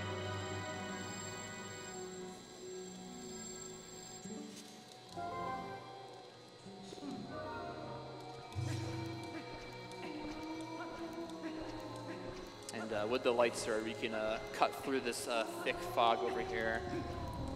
So that's what uh, this is what progress uh, stops us from like getting to Zant. is Just that big waterfall.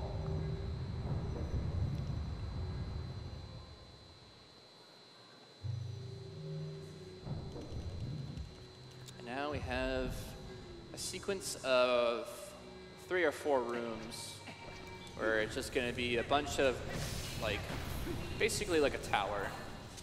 Basically gonna be climbing a tower for a little bit here. I'm Gonna throw those orbs in, the, that, in that direction, trying to line them up, and then be on the staircase whenever the cutscene starts.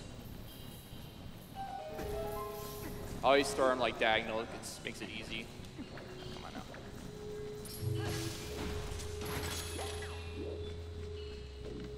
And gonna using the Gale Boomerang to do some more long jump attacks. Okay, I didn't react. So sometimes that can happen where the boomerang just doesn't go out of bounds. I don't know if there's like a reason for it really. It's just sometimes it stays in bounds, sometimes it goes out of bounds. Let's see if I get it this time again. There we go.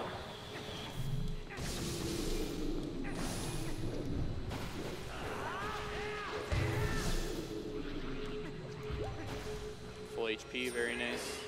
And D3 activating the platform there um, so that after he gets this uh, key, he can just immediately roll over and it'll activate. He'll, he doesn't have to wait on it.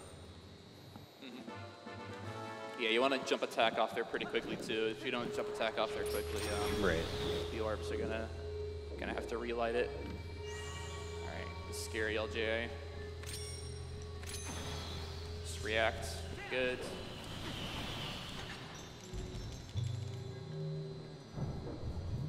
Yeah, a lot of the LJs in here that are um, going out of bounds on the wall. If you just, sometimes you just target in the wrong place, it doesn't go out, and then you fail that LJ. So you kind of have to pay attention, react, and make sure that it actually goes out before you press the A button.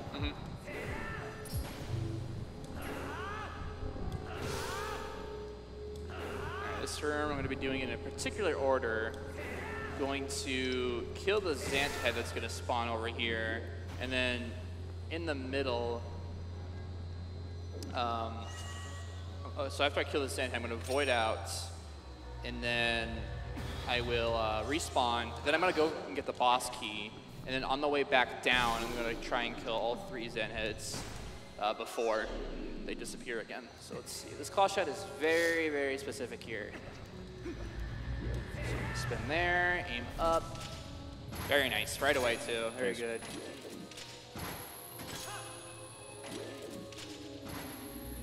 Oh, nice. Nice fly. Good again.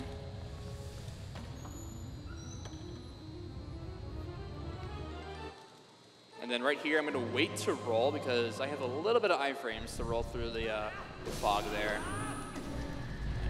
We get all three there. Good.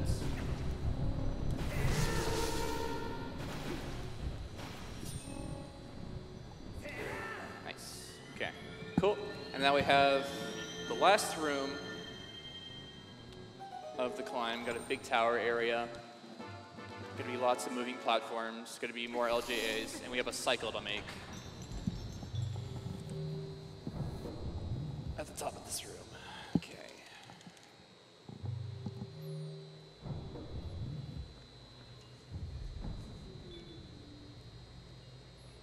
So I'm gonna roll forward. Gonna call Midna here. Then I'm gonna do a spin attack to to clear these Shadow Beasts. Transform, good. Then I'm gonna wait for a specific visual I look for. Right there. Good. Then I'm gonna do a jump slash here. And I got an LJA coming up when I got onto this platform. Gonna have to wait for a specific visual cue I look for as well.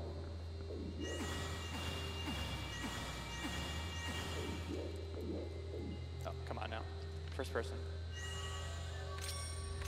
Alright, just react. Good. And made the platform, made the platform cycle. Nice. I was early. Just a little bit early.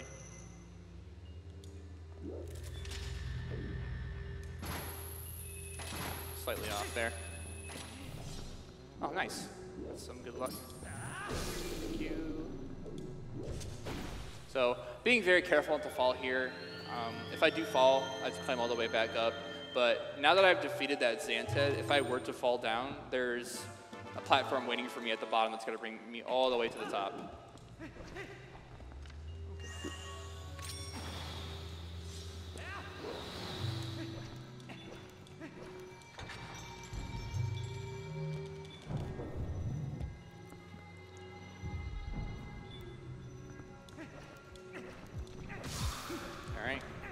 Got just a bunch of Shadow Beasts here. Start the fight. A little bit of an audio cue as soon as you hear the explosion. Just go for a jump slash spin attack, and then you'll hit the next ones that are coming down.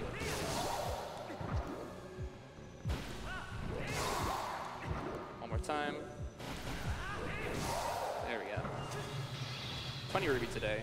Sometimes I could be a fairy, but I don't do the fairy. All right, Zant. This fight, there's a lot of a lot of things going on in the uh, the first two uh, phases, or the second phase mostly. I'm to attempt to do a one cycle. I have a couple frames to hit it as well.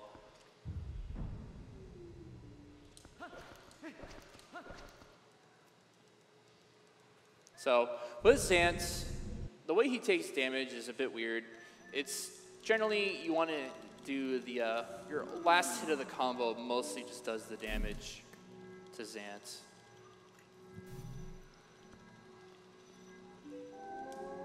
So that's like the main importance you want to be hitting Zant with.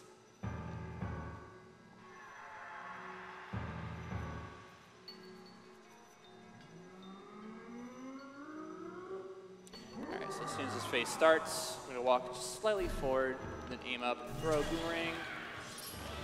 And he's gonna hop a random amount of times. There we go, nice. Yeah, look at, look at him hopping around. oh man, it's all right.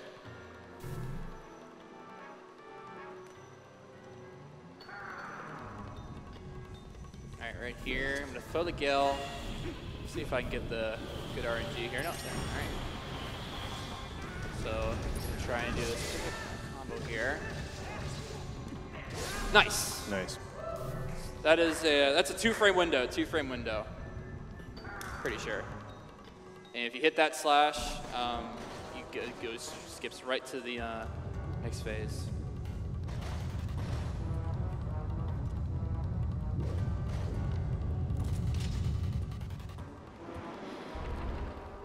All right. So for slashes here, we're gonna do left, right, middle, and down. It's gonna be our fastest combo. And then for this uh,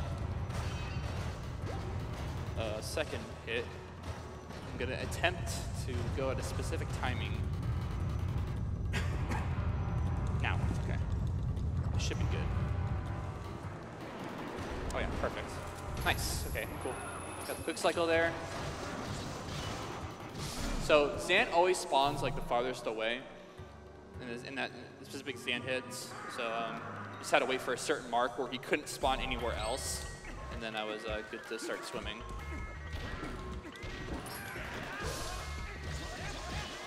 Combo. Listen for audio cue there with the music. And I'll be able to roll into there. And then, like Pheenoh was talking about earlier, uh, this is the only reason we need the ball and chain ever, like in the game. Like, is these these two hits right here, hitting his foot with the ball and chain.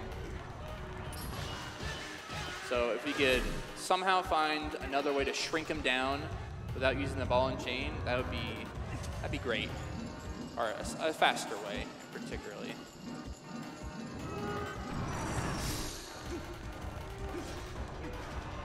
Keep popping, bro. Good. All right, final phase. So I'm going to sort of buffer my, or kind of like wait a certain amount of time, and then I'm gonna start slashing. And I have a nice visual cue for this. So I'm gonna walk forward. As soon as I see a left, the left pillar drop, I'm gonna start slashing. It dropped. Good. There you are. All right. And then just final hit. There we go. Good fight. That was very good. That was a very good fight.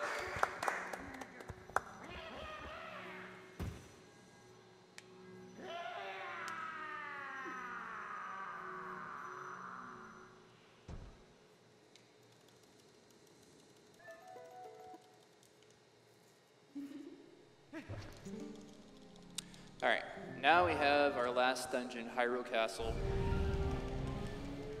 We have an unskippable cutscene. Good old Squidna.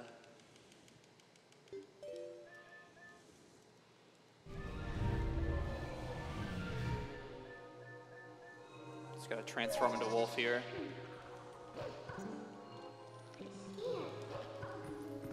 Then we're gonna warp to Castletown. We're gonna skip the mailman, hopefully. With the uh, LJA.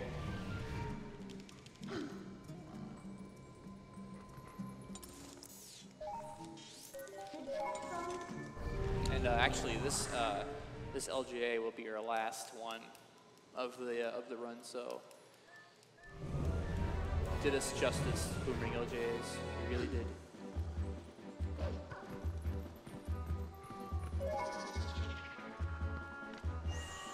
There, out of bounds,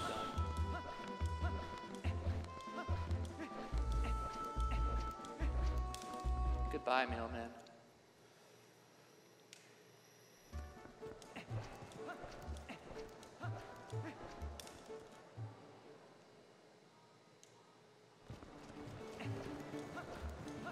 And do I get the bonk? Yes. Run is valid. Loading zone bonk. Mm-hmm. Love to see those. And now, unskippable cutscene. So this is the other bathroom break of the run.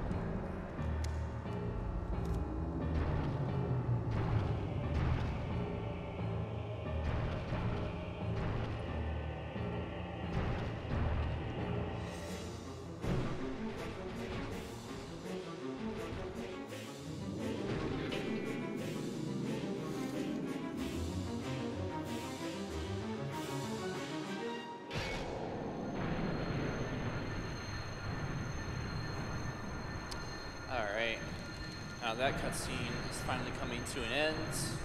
Hyrule Castle is it's a really fun dungeon. Um, with this uh, first fight coming up, it's basically just a bunch of gauntlets of fights, and we can skip some of them. And uh, in this first one, we're going to be uh, using the ball and chain to take care of a group of Boko- Bokoblins.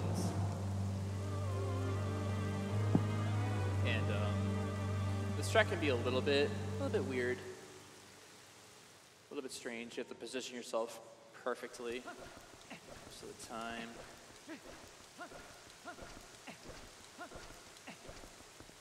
Uh, I need my boots. Oh, no, I need ball and chain. That's right.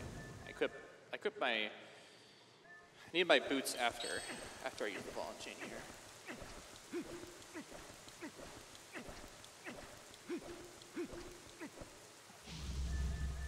All right, so we're gonna do one, two, three, roll twice back, take care of this bird. One, two, three. The lag is real, nice. Okay, perfect.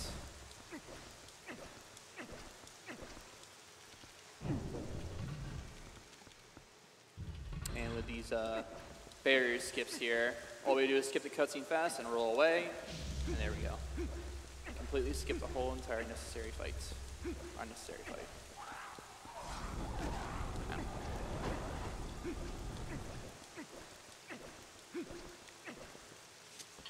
Alright, pull the chain. I need to equip iron boots. Up. Uh, put the chain down. Alright. Got Kibi 4, one last fight with King Bulblin. This fight can be, to do it quickly, you gotta be really good with your spin attacks.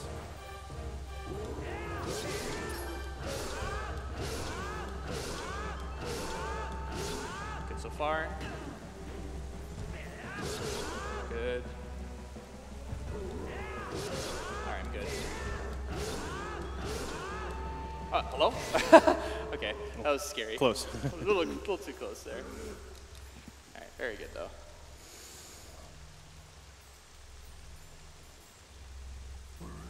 Enough.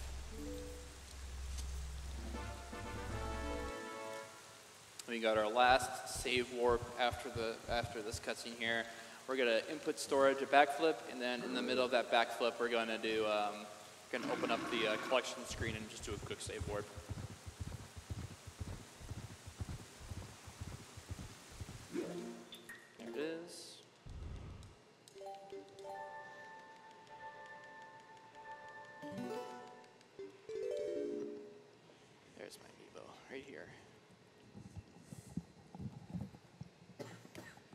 There we go. That's the last use of the amiibo and the last save warp. Got one more barrier skip coming up. We have, actually no, we have two more. That's right.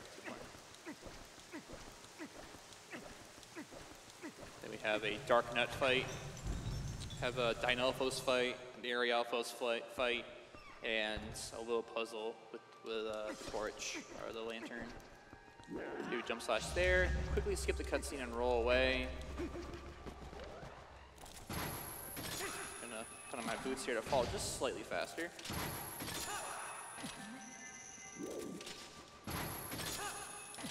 Very good. Now this Darknut fight, I'm going to quit my ball and chain a little bit later when I have the time. Oh, okay, a little too quick there. Eight, good. And put my chain, side hop, slash twice, pop ball and chain, one, two, three, nice. Good fight. Mm-hmm.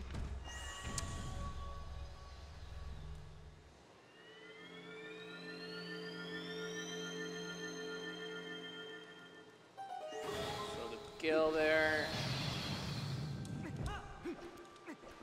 Need to put my lantern for the final time.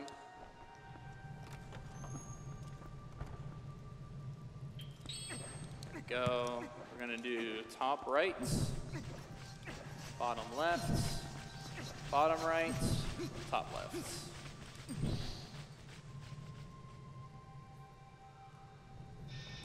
And then I need the ball and chain one last time for the uh, for the aerial foe. So this fight can be a little bit uh, a little bit weird without bombs. Let's see if I can do it correctly here. One, two, three, five, six, seven. Nice. That was really good.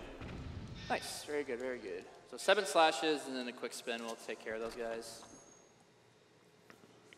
So we usually would use a bomb there, but since, we, since we're not have bombs, we have to make do for what we have. In this fight, we're gonna use the Gale Boomerang, Claw Shot, Ball and Chain, one, two, three, four, five, throw, and he dodged it. Okay. Okay. Thank you. Usually the ball and chain will kill him on the way back, but sometimes he'll just dodge out of the way.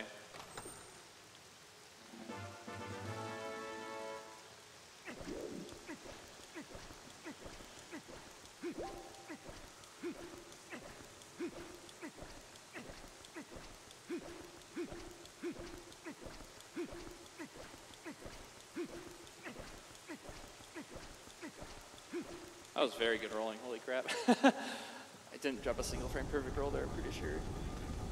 That's good. Another unskippable cutscene. We only know one of the one of the people here. Uh, uh, these other people, we don't know who they are. We never met them.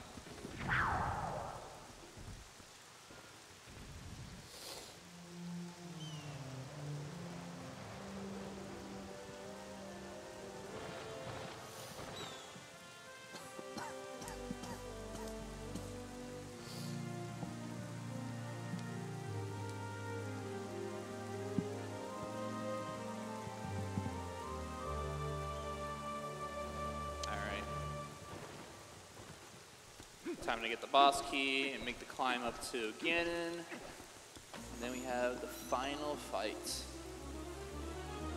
Got three phases, right? Three, four, four actually. Yeah, four. Gonna need to equip my spinner. Nice bonk. No, that's three unintentional bonks. Okay, nice. So I need my spinner, and that's it actually. That I'll do. I'll do my equip set Zelda. Want to be quick here. I Want to get these uh, these jump rolls or the auto rolls there, so we uh, can make it across those falling platforms. Do a jump slash there. That's HD exclusive, by the way.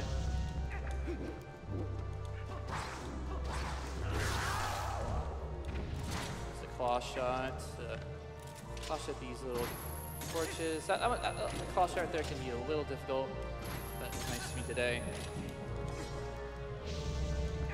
Do the same thing here. Very nice. Gonna wait for that to go up. Good. And then our final barrier skip. Just gonna, just gonna do that. Skip the cutscene. Why don't wait to skip the cutscene here? If you skip the cutscene too quick, uh, the damage barrier will hit you, and you have to fight the Darknut. So, just want to slightly delay the cuts cutscene skip there.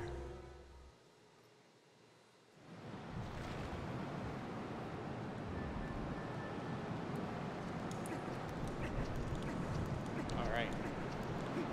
What items do I need? I think I need iron boots. I need ball and chain. I, I also need one more other item. So we all know how mason jars can, you know, reflect balls of energy and whatnot. Well, it's the same thing with this game, you know. If you want to just reflect your uh, balls of energy that Zelda throws at you, just use, your, just use your mason jar, you know. Easy. Easy. Uh, would anyone care to actually uh, explain the uh, Zelda fight? Oh yeah. Um, so Zelda's uh, the goal of the fight is to get three electric balls and reflect them back to Zelda. Um, however, the attack she can do is the electric ball, the Triforce attack you just saw, or a charge attack. And the minimum number of electric balls you can get, or the, sorry, the minimum number of attacks you can get uh, to get the three electric balls is seven. However, um, right before Zelda does the attack is when she decides which actual attack she's going to do, and you can actually kind of get un- unlucky and, and get you know eight, nine, ten attacks um, if you don't get that electric ball uh, in seven. So um, D3 is actually on a great pace right now. He got uh, an electric ball in one and an electric ball in three, so um, very likely he will get it on seven and get the uh, sort of optimal fight here. But yeah, we'll see. Uh, he really wants the charge attack, which he's not gotten yet. Okay, he There just got it um, because you can actually cancel the charge attack with uh, Link's shield, and uh, that gets Zelda up faster and prompts her for her next attack. Nice. Uh, so this was six right here. So This should be an orb, hopefully. so if this is an orb, you got a, a great fight. Nice. Nice. Got a seven Yep, cycle. Let's go. seven. Finish off with that bottle.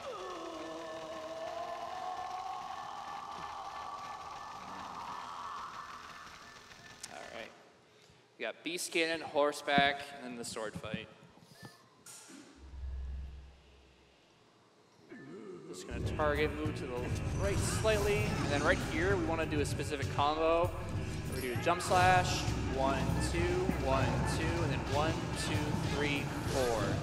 Uh, we want to bring him down to one HP, and we're gonna bring him down to one HP by doing that one more time, and then bring him down to one HP will actually also manipulate how he attacks us.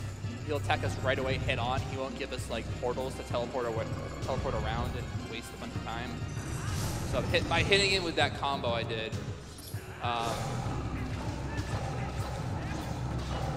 sorry, just focusing.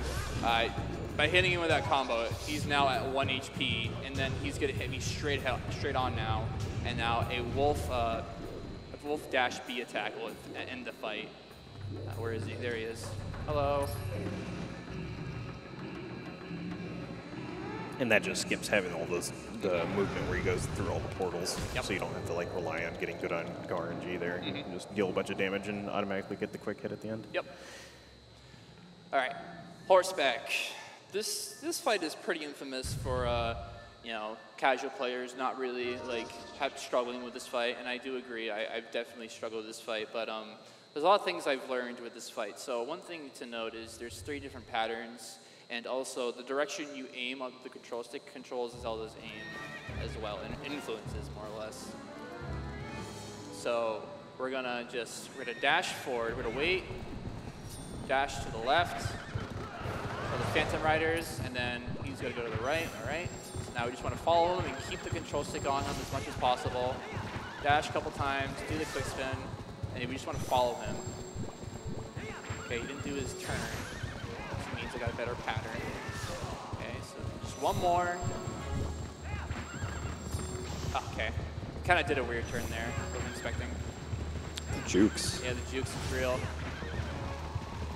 Oh, oh, you can get to some of the Phantom Riders. Okay, that's good. Okay, there we go. Nice.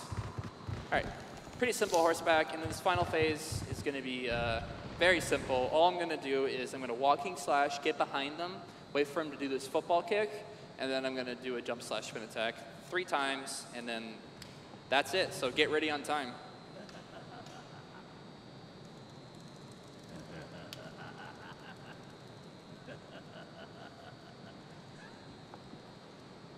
An impressive looking blade, but nothing more.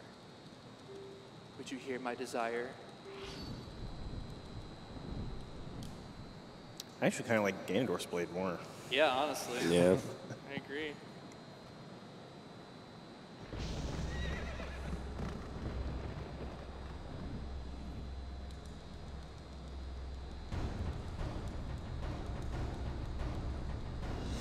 All right. So, walking slash, football kick, jump slash spin. Football kick, jump slash spin. Football kick, jump slash spin. Iron boots, and time. Oh, let's go. Nice. Good time. Nice. That was good. That was good. That was very good. Nice. I'm happy. I'm really proud of that run. Nice. Cool, cool. And uh, it's really cool in this cutscene. If you have iron boots on, you got to hear Link's clank. His clank his iron boots while he's walking to Midna, so we'll listen to that. And then I'm going to do some shout outs.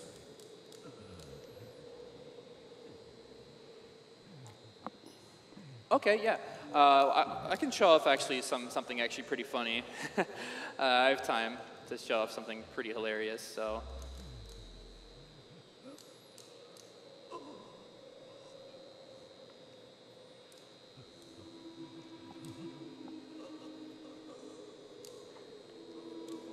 Ganondorf's not looking too good. Yeah.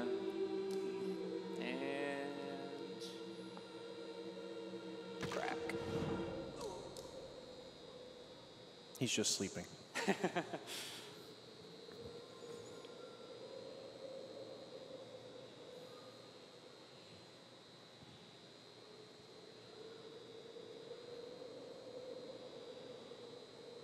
like Link's fit, Zora armor, iron boots.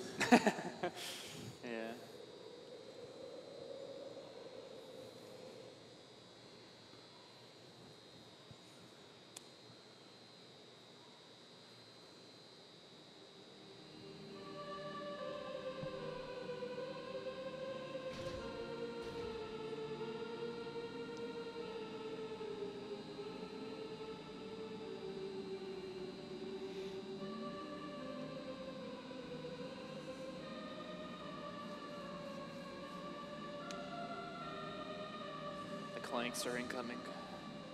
Get that Iron Boots ASMR.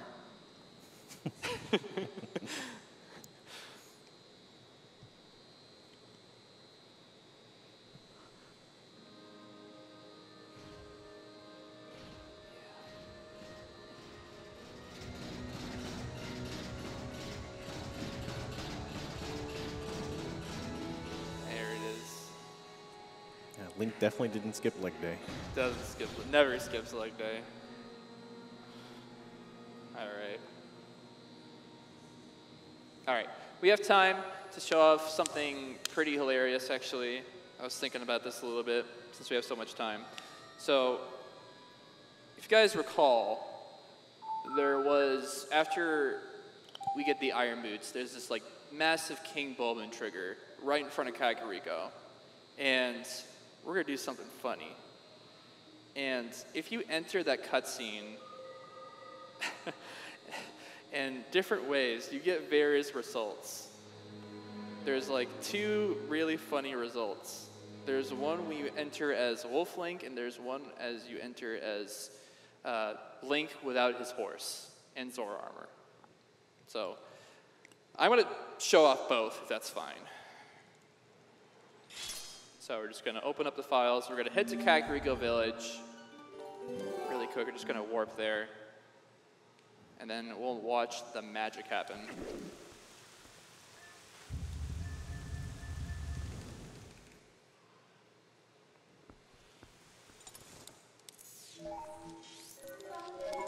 We'll do, um, I think we'll do Zora Armor first. Yeah, we'll do Zora Armor, no horse, and then we'll do Wolf Link. Wolf Link is trippy. Well, yeah, Wolf Link is trippy. We'll, we'll, we'll, go light first. We'll go light first. All right. So, gonna gonna walk out of Kakariko, and then there's gonna be a loading zone that's gonna appear. You walk out further enough. All right, should be in here. There it is. Okay. So now we're gonna watch this cutscene and be ready. Be ready for the beauty that's gonna happen.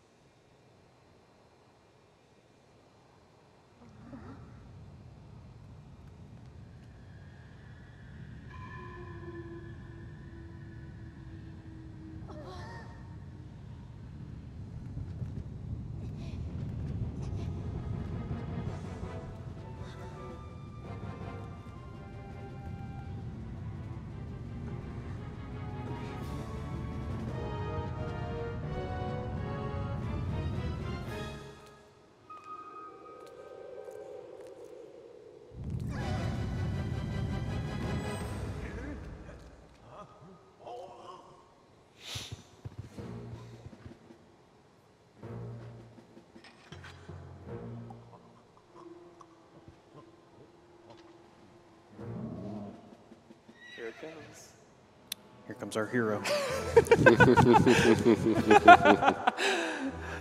He has no head.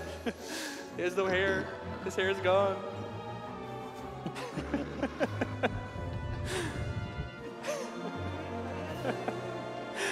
His horse is gone too. He's just he's on the invisible boatmobile.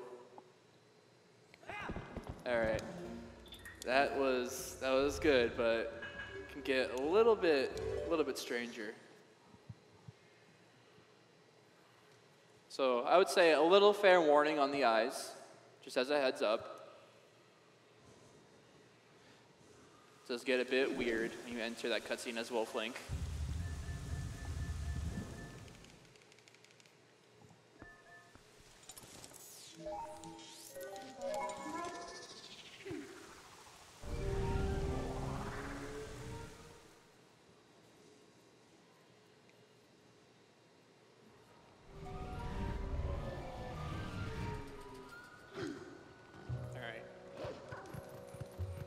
Fair warning on the eyes. Be just fair warning. Could get a little could get a little crazy here.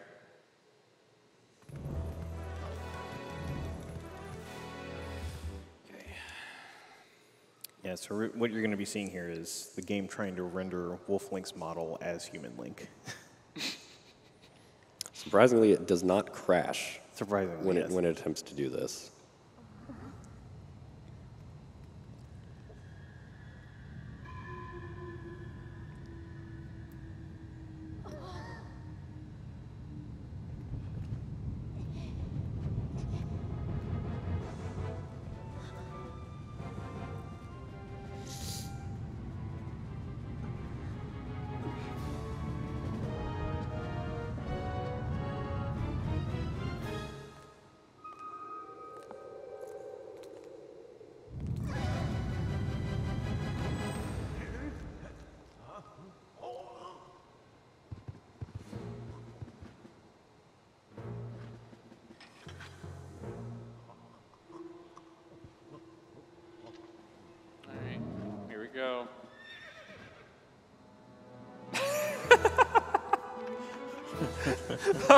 God, it's so bad. oh man, so great. oh jeez. yeah, that was. That's Twilight Princess HD Any%. Hope you guys uh, enjoyed. I very much enjoyed showcasing this run for y'all. Um, I'm just gonna go through shoutouts now. Uh, shoutouts to the TP community. Shoutouts to Jim. Shoutouts to Pheenoh. They're both amazing people. They're amazing runners. They're such great TP people and great people in general. And uh, again, another big shout out to the TP community. If you're ever interested in learning TP, please join the TP Discord. People are always willing to help and help people learn how to speedrun this fabulous game out of any version you want. You want to run the GameCube version? Go ahead. You want to run the Wii version? Sure. HD version as well. You know, there's tons of tools out there, tons of beautiful practice tools, everything like that. Um, I like to give a shout out to Mazer Gaming, my sponsor and my organization I'm in. They're both amazing people, very understanding. Uh, I've this past like couple months, I've been moving across the country again, and they've been really supportive and all that stuff, and I really appreciate them for that. Uh, I would like to give a shout outs to my brother as well. Um, he's been a huge help for me, supportively, mentally, everywhere. He's been throughout my life, and I really appreciate him very much. Uh, another shout outs to my wonderful girlfriend. I, she's a beautiful person. She's helped me through so much, and um, I recently, first time met her for the past week, and we've had a wonderful time together, and we have a bright future ahead of us. And um, yeah, if you're interested in watching more Twilight Princess HD, uh, I speedrun this game pretty much almost every day. Uh, Twitch.tv slash D3lighted, which is going to be on the screen and all that stuff. So be sure to follow. And be sure to follow Jim and Pheenoh as well. They do Zelda content as well. They're such amazing streamers and amazing people. So uh, that's all I have to say, really. I appreciate it all. Thank you, Pace, for letting me run this. It's been a pleasure. And I hope you guys enjoy the rest of the marathon. Thank you guys so much. Bye-bye.